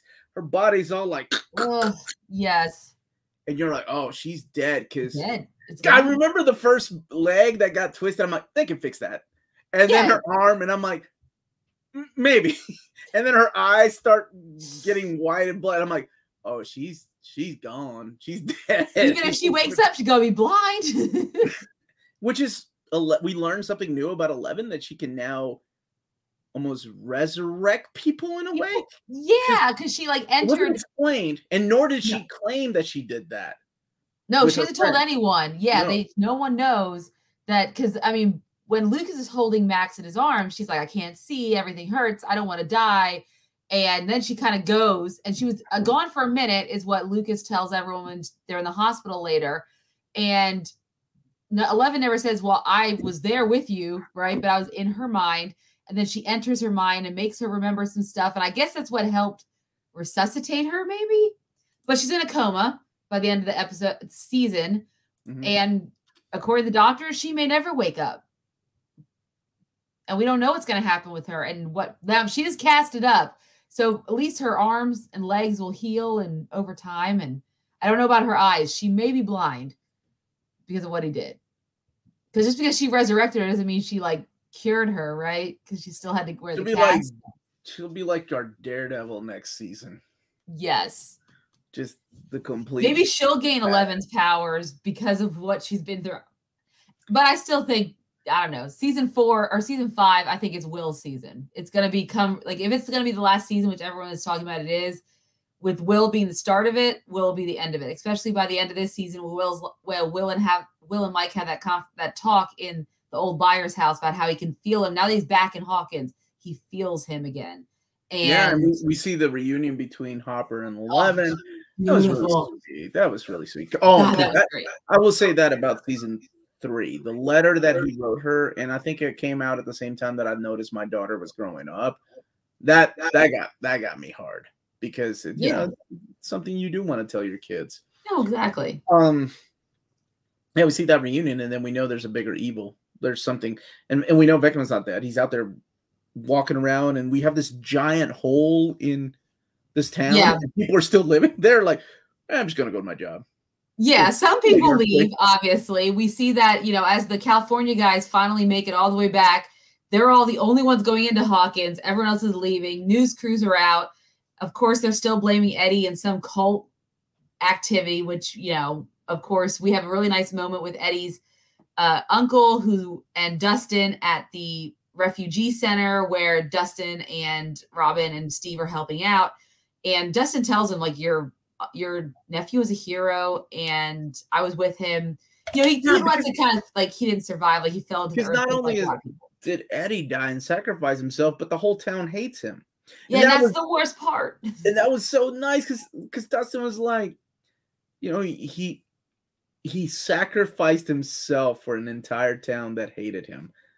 That I mean, he's a real hero. That was awesome. I like that. That was good. Yeah. That was a nice touch. Uh, James said that the Duffer Brothers told TV Line that season five is gonna have a time We jump. better I'm- not get to the '90s. We better not see the '90s. I want to end it with 1989. They can wrap it up after that. They've got. I mean, they have to do something significant because it's taken. Like, obviously, this one was delayed because of the pandemic a little bit, but these kids have grown. yo, man, when Will showed up out of the car, I'm like, does he have like a five o'clock shadow? Did he, or is it my 4K television? yeah, these That- kids that- have grown too much. Even Eleven. I mean, she doesn't. She's yeah, she's a woman. Like, I mean, she's How old is she? How, how old are the she's kids? eighteen. She's 18. Okay. Oh yeah, because because all you know people made a big deal when she turned eighteen just recently, like a few months ago. People um, magazine. No, people in general, like on Instagram, countdown till yeah, as if that's something you, that we can, you can say pervs. I, I don't think there's yes. anything wrong perverts. with We're making a countdown to turned eighteen. there we go. But yeah, she's eighteen. The rest of them are yeah around the same age, right? So, and we all know that Mike. I still can't get over that kid. Just like shot up like a beanstalk. He looks like the lead singer of All American Rejects, and these these um, 80s clothes do not like do Man, not do those like no they didn't make kids that tall in the 80s man i'm telling No. you. So the Yeah. clothes is like they look so silly with these uh things. I think they will have kids if i'm not mistaken. They never mentioned that what specific time. So that's interesting that if there's a because we know that by the end of the season, so the season ends with they're all in their respective areas. Um, the they're, Byers, back, they're, back, and Mike, they're back home right? Yeah, they're back home in Hawkins, um, just around Hawkins doing stuff, and then they start to see ashes, and Mike's sister's like, you know, saying, "Oh, look, it's snow," but we all know it's not snow. And as they start to walk away from the Byers' house and into an open field, they notice that it's almost as if the upside down world is now coming to their world because you start to see as this ash from the explosion of the earthquake from the center of town is falling on the plant life and it is dying and it looks very eerily similar to what we are seeing in the upside down world. Yeah, i wonder why sometimes i wonder uh, i can't spoil things on the show I, i've learned that uh but even in comics I, I to me the comic book would have meant a lot more if they had killed the character and they had stayed dead. I know that's ridiculous to say. Um, I think it cheapens it, of course. TV shows and movies, I feel the same way. What what is the purpose of this character? I mean, Because if we're gonna have her lying around in a hospital bed all next Mhm. season, and then sh at, by the end, whenever that happens, and she's like, she wakes up from her coma, she's like, "Hey, what was the point of everybody's happy." you know, yeah, unless they do have a plan for her. yeah, I and maybe the they same. do. I felt the same. I thought like maybe they should have kept her dead, Yeah, because it would. or maybe that was, that was the, the way that they can see that they, they had to show that Eleven has powers to resurrect people. So if Mike or Will get killed, Because if Will gets killed, which is a possibility, someone's going to sacrifice themselves next season. Brando Sandal, what's up, Kyle Davis? How are you, my brother? Hey, Um, Kyle. I just got back from running up that hill. Oh, you- good job. No, you did not. You did not run that unless you listen to it. What if Eddie comes back like Hopper? He wakes up and upside down. He has to find a way out. We thought the same. I'll be honest with you. Uh, Oh, I thought we were gonna see like Barb in the upside down, like a me too. mutilated like Barb, and I'm like, oh, this is vengeance for Barb or justice for Barb. Whoops, that hashtag movement a few years ago. Yes. But we didn't, We right? Like she's dead, dead, like not even a corpse. I thought we were Yes. gonna see her, but we didn't even see that. Max is gonna wake up. Rick Grimes down. They're all going to be demogorgons. Because, well, I was thinking about how, like, if the hive mind, you know, consumes. Vecna, like, yeah. the Stranger Things kids would be 50 or 51 year old and present. Let That- that- okay, first of all, If they do not a- that- if they do an 50's not it that old, thing- guys. 50's not that old. I'm just gonna throw that out there. It's not that old. Yes. But if they do an it style thing and they get adult actors playing like adult versions of these characters, like in present day, that would be weird. And I hope they don't do that. They better get Bill Hader to play uh, Mike because he played him in it. Hundred percent. They Yeah, don't look anything I alike. don't I look mean, anything like, but I would Mike always go with a Hader. Bill Hader in anything. So that's fine. I'm okay with that. He is I've only seen bits and pieces of Stranger Things, but did like season one. Oh man, it, it was It's, if you need something it's to binge. It's definitely hit and miss, uh, Kenny. Um, all right, Amanda. Let's talk about. We talked about this this season a lot. What were the things you didn't like about this season? Was there things that you didn't like about this season? So I think, you know, especially with Oh yeah, Volume- we're gonna rank the seasons here in a second. So when it came to when it came to the storylines and everything, because this this this season was very similar to what we talked about the Umbrella Academy, right? Everyone was separated, so you're missing some of that very cast similar to season two. exactly. So they had a lot of that cast chemistry you usually get is gone. Um, even when Mike does go to visit California, him and Eleven are immediately separated, pretty much. So you don't see or get to interact with Mike at all in the season, which you know is a shame because they had some really cute scenes in season three when you know Hopper's trying to be a dad and they're trying to be teenagers or preteens, whatever age They're trying to know, make out. they're They're trying to make out, and they can't do that. Three inches. Keep that door open three inches. Oh, But so that so what the, what the happened then is that some of the storylines, like early in the season, felt just weaker than others. Obviously, the Hawkins and Indiana, because everything's happening there. Um, you had the most group of characters together, right? You had like Nancy and Robin, Steve, Dustin. Anytime Dustin's in a mix, he always seems to bring the best out of a lot of people. He just has really good chemistry with a lot of different characters. And also Eddie, which everyone's new favorite. So you had a great core cast of characters working together. The problems were mainly in there, right? And you had a good villain with in Jason, right? That became a villain in his own right as an everyday villain. And then then you had the California storyline, which ended up being a California and Eleven storyline. Eleven's storyline was interesting because we brought back the doctors um, and her trying to revive her powers. But the California storyline, them going to Susie's house, all of that just felt like they needed to fill some time for the episodes because they wanted a certain number episode count. And then the Russia storyline um, early on was very weak to me. I could have done without it, but I do. I'm glad we got Hopper back, and it did help in Volume Two, where him and Joyce and the and Jock and Haggard decided they were going to go. Like, it- yeah, it is not his name. I don't remember the actor's name, but that they're going to, you know, help them fight. I figured that out, making them part of the plan. I like the Duffer Brothers were able to bring them into the fight in some way. I do appreciate that, even though the kids had no idea. No, James.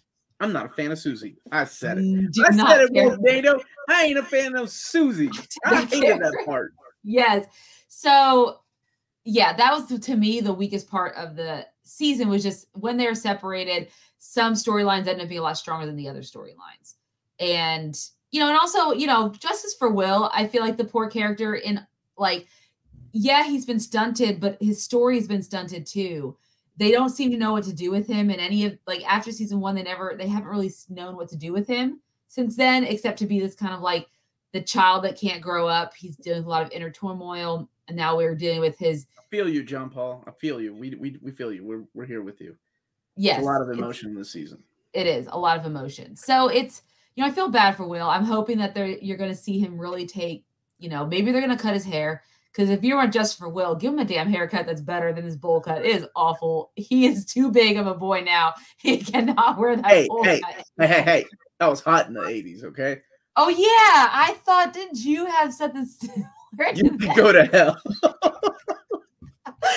Oh, Leave people with Oh. bowl cuts in the 80s alone. I'm just saying they could give a. Hashtag justice for but there cuts. could be more. I'm hoping there's more for Will to do. Um, if not, kill the character off or give him a, a heroic ending and let him be. Um, don't just keep Kill- letting him be kill him, let him traumatized him and be. not get any type of you know growth throughout five. Like now we're on fifth five seasons, and growth seems to be something that he's not getting. Everyone else is growing, but he's the only one who's not. Which makes sense for his character. I kind of like that. Um, Yeah, but I hope that means that it's going to lead somewhere in season five. all right. Um, let's see here. What don't you like about this season? Very minimal things. Uh, number one, it was just nitpicky things like you know, 1986 terms we used. Ain't nobody used. Kids weren't using the term internet back then. What the hell is that about? There's Or something else they said. hacking into the school system. I'm like, okay, I know that the internet was around in the mid 80s, but it was like trial, you know, it, like uh, universities, high end universities that would talk to each other. Yes. A high school and a kid, where was she in Utah? Yeah, in Utah. Get the hell out of here. That, that, very, like I said, very minimal. That bothered me. Um, a couple of phrases they used. The Russia plot line, uh, whatever. Yeah. That's it. I love the season. Yeah. I love, I love this season. I thought this was uh I think this was my favorite season. If I gave nine like season so season one was a nine, this is a nine and a half. Yeah, I mean, very I mean, this was a, almost a 10 for me. I loved it. I thought Yeah. great. Uh introducing a new character. Because you know, when you always have a chance of like when they introduce Max, uh you always have this like, oh, it's the new kid syndrome, right? She's not gonna fit in. They're gonna be like mean to her. Um, but not these kids, but uh, the audience. I meant, or the Yeah. same thing. Uh, with, when they introduced Robin, oh, it's the new character, which I thought they were gonna kill off, but they didn't. And in this, we had Eddie, and Eddie was like, even though he wasn't in every episode, and he didn't have a lot of big moments except for his final episode. Yeah. He was great. He was that he was that part of the 80s that was missing from the show, which is like the the, the heavy metal, the rock death metal part of the 80s. And I thought that Yeah. was a nice addition. Um, yeah, I have no complaints about the season. CG, it's like holy crap. Whatever money they siphoned out of Umbrella Academy season three, they totally used Yep. it for this season. Well, except for when Vecna becomes Vecna. That still looked a little like Yeah, it had its that was a little off. than effects. that. They use practical effects, they use makeup on him, and you could tell. Oh yeah, well, and he, you can look his Instagram. It shows the process of him becoming Vecna if you watch Oh, it. does it? Okay. Yeah, it's really cool. Yeah. It looks it looks like makeup and stuff. So I thought that was nice. Um yeah, not nine and a half. What would you give the season? Yeah. So overall, I really enjoy the season. What I like the most about it, Mhm. um, because we're always talking about how they connected to the 80s, right? And yes, while they had the Nightmare on Elm Street vibe, what I really liked is the real life satanic panic, which is a real thing that happened in the 80s. oh god, how yeah. well Dungeons, they connected Dungeons and to that. Dragons, all that. Mhm. Yeah, it was so perfect how they connected all that together. It's almost like they were getting up to that point in the show. They wanted to get to this era of the 80s where that became a thing. We all know there was some murders things that happened um, in real life that led to Satanic Panic. Um, and of course, the heavy metal that was coming out and Dungeons and Dragons. And so people can't wrap their heads around these things. And I love that they were able to connect that to this real life thing that actually happened in the 80s. I love when you can do that with history and um, fiction. It's I think it's wonderful. So that was great. I enjoyed the cast. I am mad Eddie is dead, but I love him. And it was a beautiful addition. Joseph Quinn, I hope that we're going to be seeing him on a lot of other things soon. He's Game a great actor. Um, but other than that, I would give this one, yeah, nine and a half out of 10, almost a 10 out of 10, if you will. I loved it, especially that. I mean, vol- the, the two volumes, they maybe, you know, went on a little long, but no, it was perfect ending. you liked it. I'm no, sorry. you're fine. You liked it. No, I, I, am sorry. I didn't mean to cut you off. I just uh, no, you're fine. No, I, I, I thought it. I didn't know that they were an hour and a half. Like when I watched the first episode of season four, I was like, oh, that seemed a little longer than usual. I was surprised when it was an hour and a half. Yeah. So to me, I thought, holy crap, this season was so good. I didn't even notice that it was an hour and a half. And then and then when we got to the finale, I'm like, I, I looked at my daughter and I'm like, I don't think they're gonna be able to wrap this up in two and a half hours because there's so much that needs to happen. I, I love it. Yeah, it left uh, a lot of great cliffhangers for us coming into season five. That makes me say, what's gonna happen? I need to know. Well, Nato, what about like King's Dime? You were listening or hanging around the wrong people in the 80s. Because you you did have some death metal in the 80s. Yeah. Very cool of him. I mean, 1986 with Metallica and that particular song. Yes.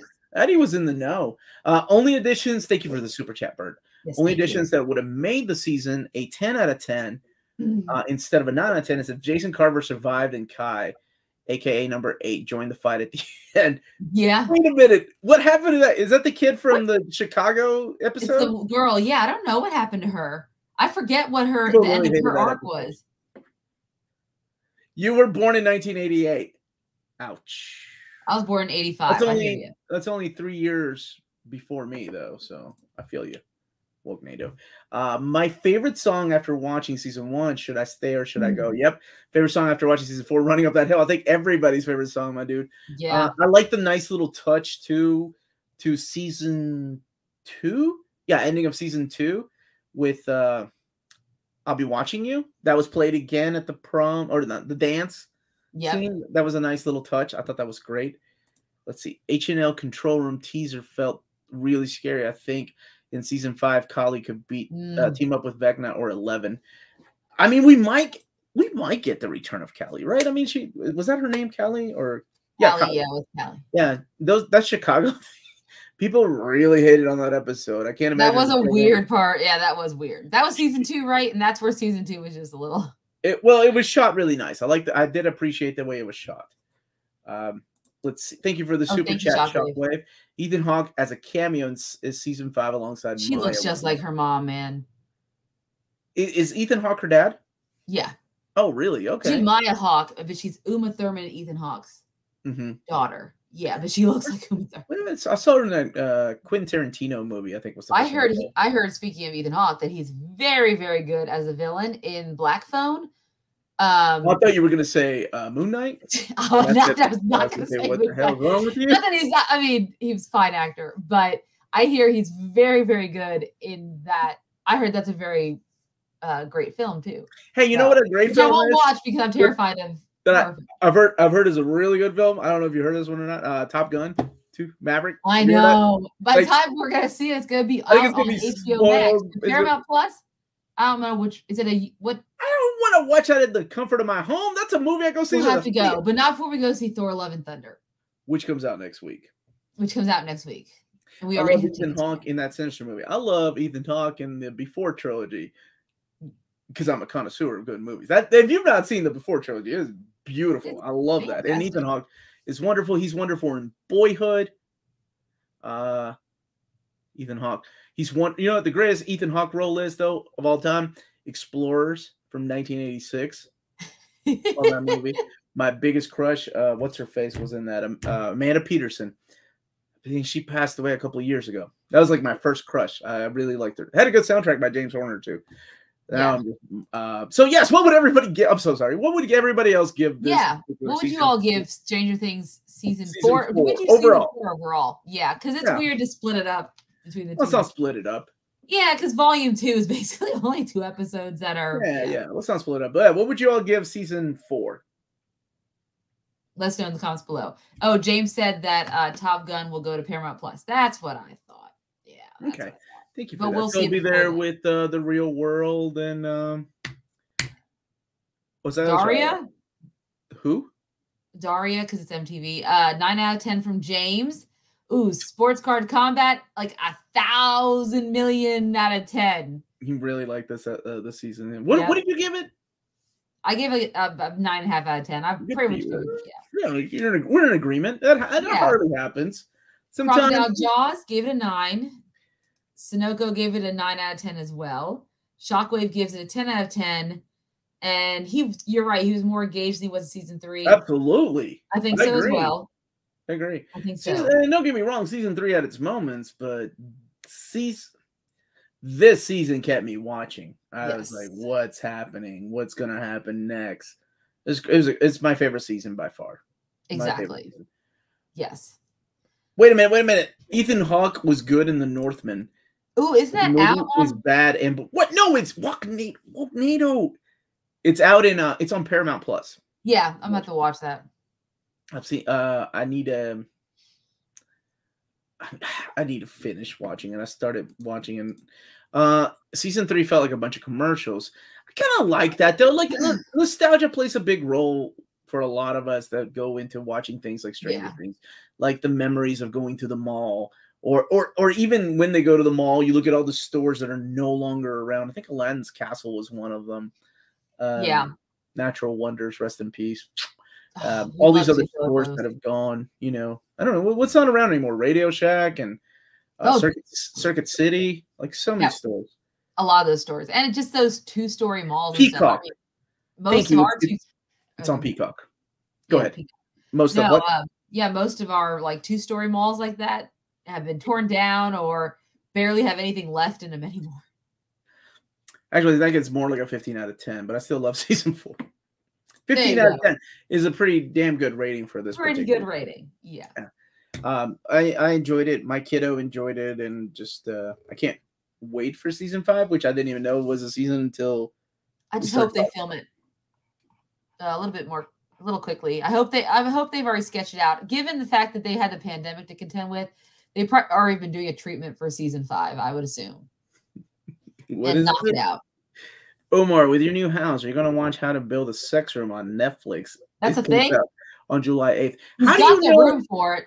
And what makes you think I wouldn't know how to build one to begin with, James? You always can use advice. Doesn't mean you're an expert on things. You can always use some advice. Right. I don't have a yourself. YouTube channel called How to Build a Sex Room. You're absolutely right. I could always Oh use advice. gosh. Thank you for telling me that, James. I can't wait to watch that. Uh, who's the host? Is it uh not no? What's his name? Kuma. Oh, Kuma- let's see how to build a sex room. It is Melanie Rose, who is a designer. Okay. Well, definitely gonna be watching that. I don't know what else to say. Stay tuned for a review of uh, How to Build a to Sex Room, season one on Near Mint Condition. Yeah. Uh, it's probably James Corden with Cat. Oh my god. oh God. Oh, James Corden. You lost me. I got James Corden and Cat CGI. I feel like the Duffer Brothers got lazy with last names like Eddie Munson and Fred Benson. Pretty close, I would say. You know, the, the- they were trying to do the uh, the It movie. They were gonna do. They were one of the people up for the running for the It movie, Wow. but that's why they decided to do Stranger Things. Yeah, and the parallels between the two movies, the Yeah, movie and the similar. show, as they came out at the same time, that 80s nostalgia was hard core. And yeah, there's a lot of people made similarities, not just because Finn Wolfhard also happened to be in both. Yeah. Uh, somebody got murdered at uh, at Wow. Starcourt Mall in real life. Well, our our local mall still has shootings. Apparently, sometimes we don't really go there that often, but it does have. The town you live in? I don't think they have a mall, do they? Oh, that little Uh, the, our, the city we live near ah, okay, has a mall. yeah, those We do happen. strip malls. Does that count? We still No, strip malls in that town. Does not. 1985 was the best year. I agree. It was the year I was born. Shut it. Right at the Yeah. end, I, I knocked it out with a bang. They're like, how could this year get any better than December 29th? And I popped out and it was like, ah, that is the best. This is the best year. What about the December 30th and 31st babies? They'll be fine. It was just 29. Screw them. Uh, Yeah. Billy got murdered. Not in real life though. Maybe his career because I haven't seen that guy in anything lately. Hey, speaking of Billy, in that scene with him and Max, did it feel or look to you like they were reusing footage? yes, a little bit. They probably were. And Because it the, way when he was trying to get through the door, it looked like they just used footage from then. I So, didn't think they had think- brought Dacre back, Montgomery back to do stuff. I can't believe you know his name. Okay, cool. Of course you do. Yeah, I think they just yeah, I think they just used used footage from the season three. Amanda, have you looked at Margot Robbie's Yes. pictures? Major 80s. Have you-.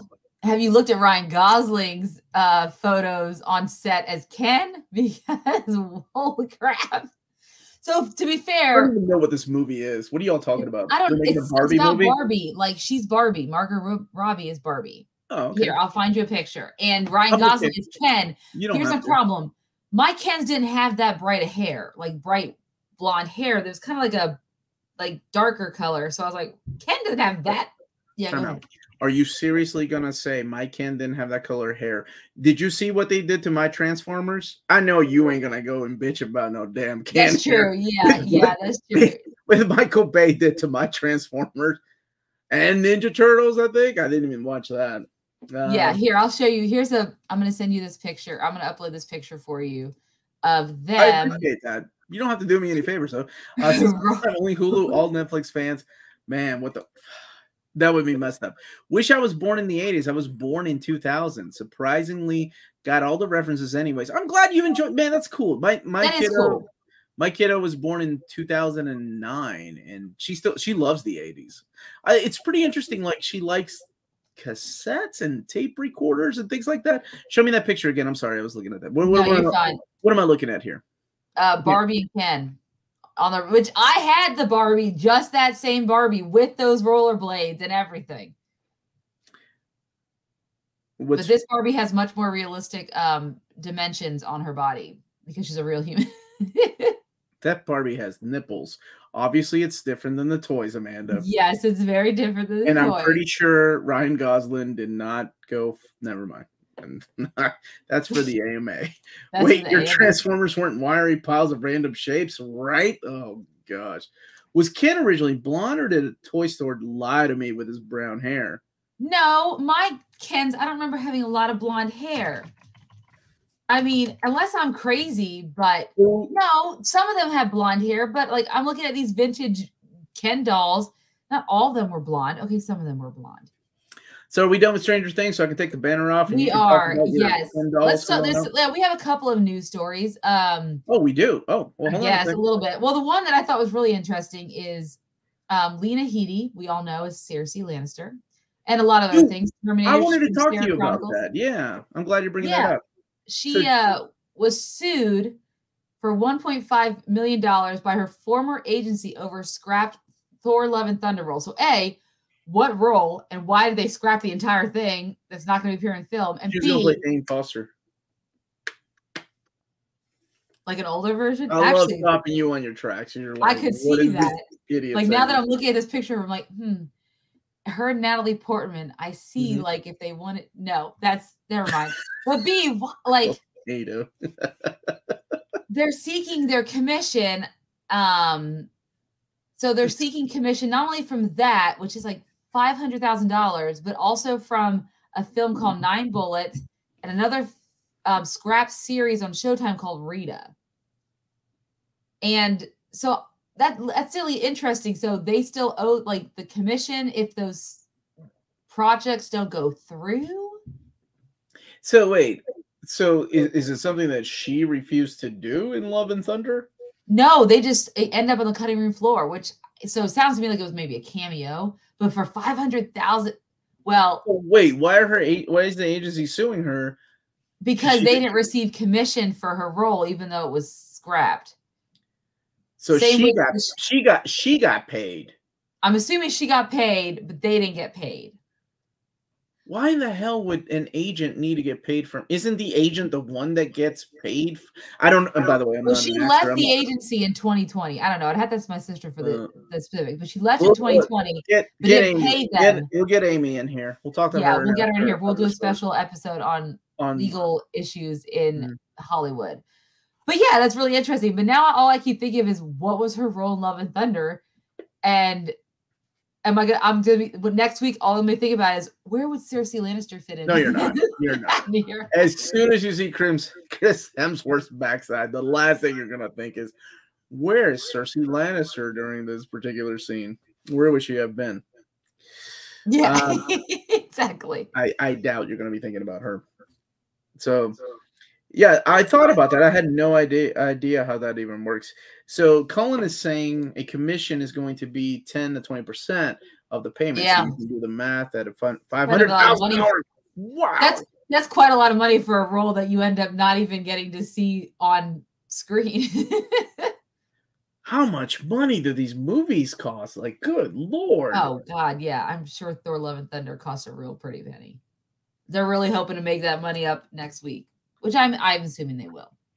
Yeah, I saw that uh, Maverick was doing better than Multiverse of Madness. Oh, 100%. Maverick But killed. then It's only made a Multiverse of billion. Madness didn't open everywhere though, right? There were countries that would not show it. Yeah, but I don't think Tom Top Gun didn't open everywhere either.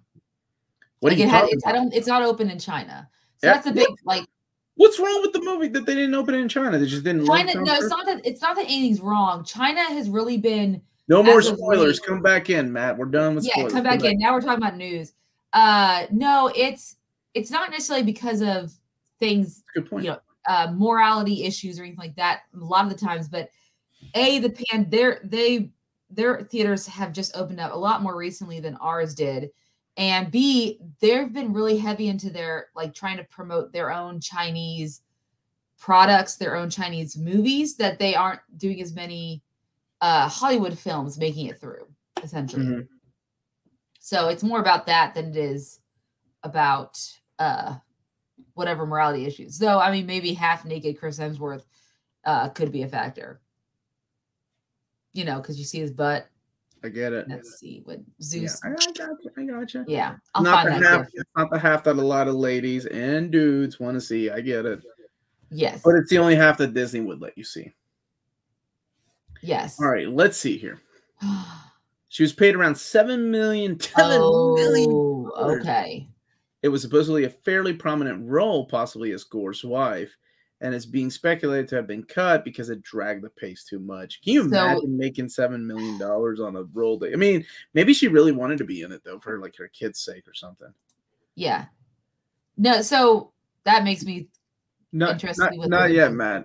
Maybe, Not maybe yet. look, next year we'll do a review no. Top Gun Maverick. We want to see it. Timing is just not on our side, but we want to Everybody, see it. everybody's busy. I thoroughly enjoyed Top Gun Maverick. I didn't even want to see the first one. That movie deserved all the money it's earned. Oh yeah. Yeah, it's killing it, man. I. I, I know one of the things you want to mention. Does that have to do with the Canadian casting, Canadian superhero? Is that what you want to talk about? Is it? Comic and TV news? Yeah, yeah. This is the part that you want to talk about, right? Your dude, Taron, what's his face, Egerton.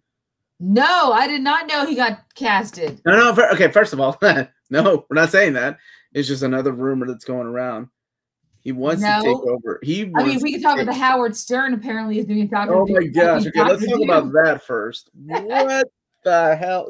That's such a Sony move, but go ahead. Yeah, so Howard Stern was hot mic'd, um, or they picked him up on a hot mic, and during that, he's talking to someone. He's not realizing it's recorded or being, you know, that anyone can hear him, and he started talking about he's involved in a Doctor Doom project. so that now is like, wait, is Howard Stern be Doctor Doom? Which is definitely not at all. I mean, I do. You, have you you have you seen Private Parts, the movie he did back in the Yeah, of course. nineties? Mhm. Yeah, of course. Yeah, Howard Stern's not the first person I would have picked for Doctor Doom or any Doctor Doom project.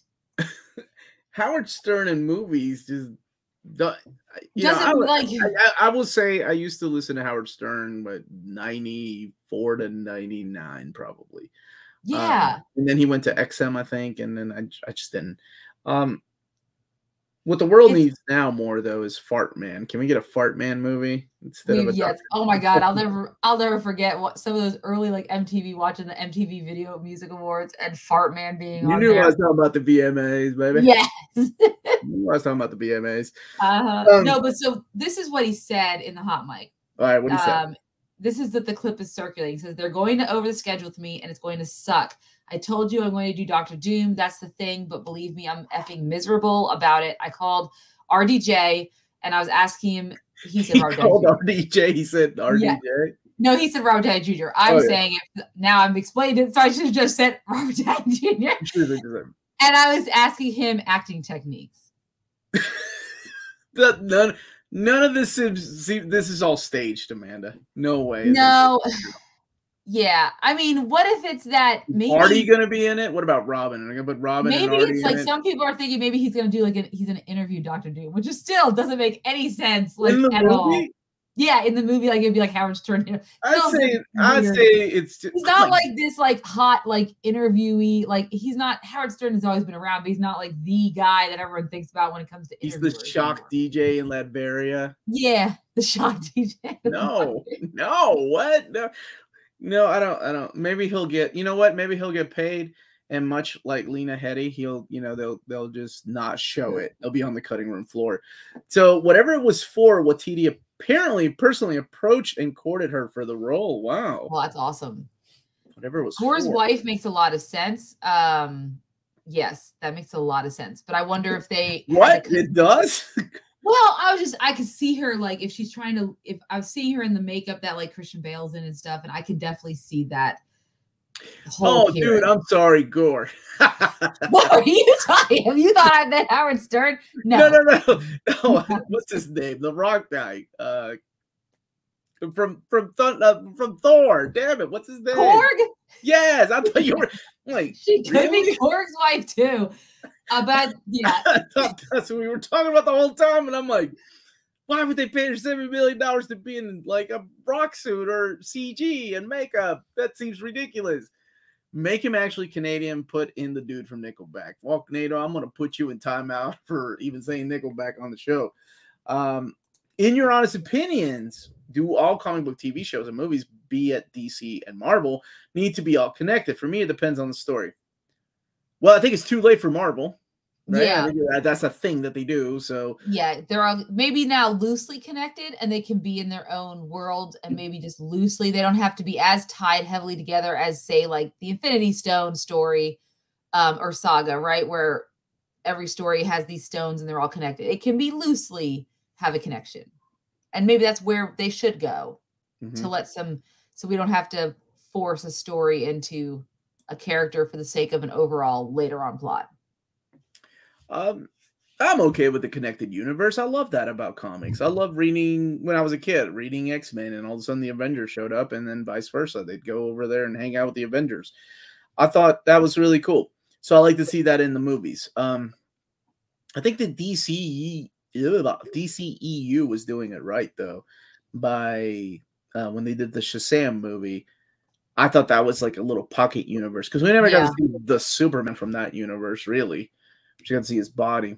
So I thought, Yep. yeah, I'm okay with that being its own little universe. I would have gone with Ewan McGregor as Doctor Doom. Dude, Ewan McGregor can be in anything right now, especially after acting the crap out of it in freaking what was that show we just watched? Doctor Obi-Wan? Yeah. Obi-Wan. I would I could see Ewan McGregor as a perfectly good Absolutely. Victor Von Doom. Howard Stern Um, interviewing Victor Von Doom or Reed Richards would be amusing. If the project is real, Stern is playing himself.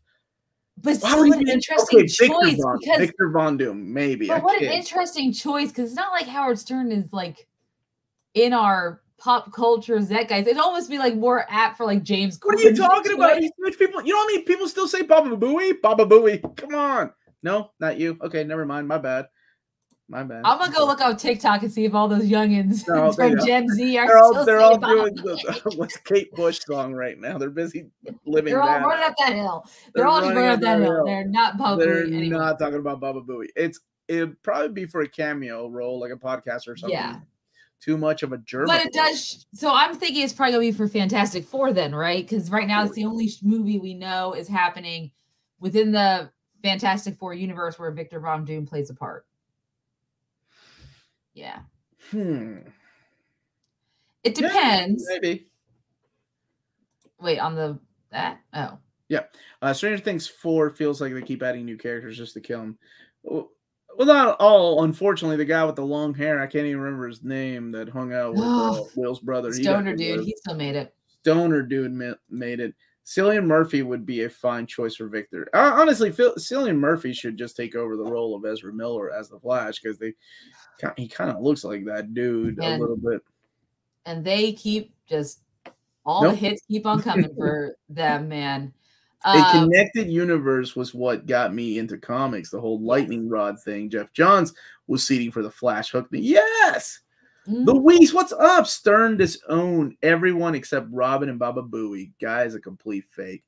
I haven't, dude. I haven't listened to Howard. Like I said, I haven't listened to Howard Stern since 1999. he still has a That- Sirius XM show, right? I think he went over to XM when I stopped listening, and that was Yeah. many years ago. I don't even know how that guy is still um, Relevant or around? relevant. He was pretty. uh He was pretty vocal at the time. Yeah, He said a lot of stupid things too, though. But exactly. oh, okay, Um, that that was his name. Ben Argyle. Okay. wouldn't die because he was on his Ducci plus East Lenora. Well, not anymore. Yeah. Spoilers for Superman and Lois season two finale. That's Earth Superman, Oh. same one from Arrowverse. Oh, Interesting. I think they're wiping that out, right? Like the whole Pretty Arrowverse sure era. they are going to. Yeah, I think they're going I'm to okay start. with that. Yeah. Um, all right, so it's already 10 o'clock. So last bit of news because this is interesting. Um, Ten o'clock. Where'd you see that? uh, on my computer. Oh, okay. My bad. Yeah. It, and so um, so what Omar was talking about earlier, and then we got way off talk talking about other stuff, is uh Taron Eg- Egerton, who we all know and love from Rocket Man or The Kingsman, or if you are have kids, uh sing and sing too. Keep going. it's 'cause on the None of this is striking a chord. Nope. Anyhow, he has admitted recently in an interview to the New York Times. So this is he said it to the Times, which is a Mhm. legitimate source, that he has met with Kevin Feige about the possibility of playing a role in the Marvel universe. So of Mhm. course, a lot of people have always been a he's been a fan favorite for Wolverine. If we were going to do another one, not for Omar, but for a lot of people. Um, and He, he, can actually, play Howard Stern interviewing Doctor yeah, Doom. and That's people asked play. him, yeah, people asked him if he was excited to be cast as Wolverine, and he said, um, yeah, he'd be excited, but also a little apprehensive because you know Hugh Jackman is Hugh Jackman, and Okay, first of all, Wolverine is Wolverine. Okay, I get it. yeah, but Hugh Jackman also, Hugh Jackman. I get it. yeah, I know, But there was a a lot of character before the actor. people Go grew up with him as Wolverine, so that's gonna be it. Well, it's yeah, a lot of people did. I get it, but yeah, it's like you like it's like how would you replace Johnny Depp and someone else be Captain Jack Sparrow? You just don't. And now Disney owns his image anyway, so it doesn't matter. you Like, get Colin Colin Farrell to do it because then he yeah, replaces him. Yeah, obviously these guys look alike. yes. Uh, okay, yeah, no, no, thank you. I I wish him luck. I hope that he gets casted as an Eternal for Eternals two. No, there's not like no. He's he's gonna he's a big he's they'll give him something. Maybe I'm sorry. Did you say? Rewind. What if he's Johnny Storm? fine? Whatever. He could be Johnny Storm. How old's this guy? Oh, I don't know his how old he is. He's in his he's probably in his late twenties, I would assume. Too old. To play Johnny Storm. Oh, because you yeah, you want somebody you want 15, 15 year old to sign a 35 year old or 35 year contract with Marvel. yeah, you want well, I would say you I, I always wanted like a younger one, 89, so he's like around my age. Yeah. Well, he's around my age. Your age? So he's in his 30s. I lied. So he's in Yeah. his 30s. But you know, depends on what they're looking for in that role. So it could be that. Uh, from 10 things I hate about you to the Dark Knight, people can surprise you. Absolutely. Oh yeah, Absolutely. hundred percent. I'm just saying, I- for me personally, it's not it's not about him. I think he's, you know, whatever. He's honestly, I don't really I don't remember him in hardly anything except Kingsman, really. Um it- it's more about like the name of somebody. Like, I just I've wanted a no name for so long for a character like Wolverine because Wolverine himself is a persona. Like it's a type of character. Yeah. Uh, everyone wants like Hugh Jackman is going to be Wolverine. Bo- yeah, right. Remember that? Like people were like, he's too tall, he's too good looking. But now people that grew up with that character, or some of us that just went to see the movie, are like, oh yeah, well, he killed it as Wolverine. He did a great job. Yep, and that's all everyone thinks about now. No, and man, I beg to differ, dude. Comic. I remember working in a comic book store, and people were like, "There's no way that guy can play Wolverine. He's way too good looking and way too tall." And that's just the way it is. That is the way it is. Uh, but oh, he was the voice of Rian in Dark Crystal. Do you remember him in that? Lovely, I don't like to talk about that show because it broke my heart. Because it's it was wonderful and Netflix. No, they Yeah. didn't break your heart. Netflix broke your heart, just like with Anne with an Yeah. E. Even if they gave the actress, And um, we didn't even talk about her being in season I know of it was very exciting to see her in season four as Robin's love interest. It's one of those so things. Will she? Won't they? Is it like the Will and Mike thing? Yes, and it's so and she's so I love that actress. She's adorable even in that role too. She's She's so over dramatic. I love her. I know. Oh God, they could talk so fast. I thought I was a fast talker, but those girls, dang, they knock it out of the park. Man, No one knew who he was. No one cared, to be honest. At least near me. Yeah, people cared. Comic book fans, man, they're the, they're like Star Wars fans. Hard to please. I think every fan is hard to please. It's rough. It, it is really. It is rough to be tall and good looking. You're right. Hugh Jackman's got it rough. Yes. Um. Anything Okay. Nita? no, nothing else. All right. Guess that's the last time we see you with that shirt on, because uh, you know, it's kind of rest Never peace. say what? No, what? I'll wear this shirt forever. No, I'm just kidding. Sign us off, kiddo.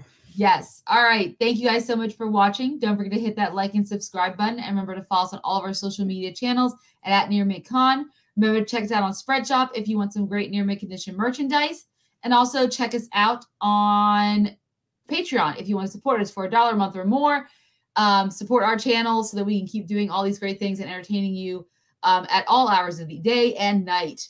Not all hours, but if you do a Patreon level, maybe all hours. I don't know. Depends on the level. Quit- Quit making promises. I cannot. what is? And wrong then with last but not least, guys, if it's classy and cool, it must be Near Mint. Good journey. We will see you all next week. We're seeing Thor early so that we can do a Friday review.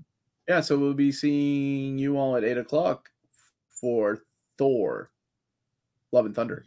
I should have let you just finish that. I'm sorry. Bye, everybody. Bye, everyone.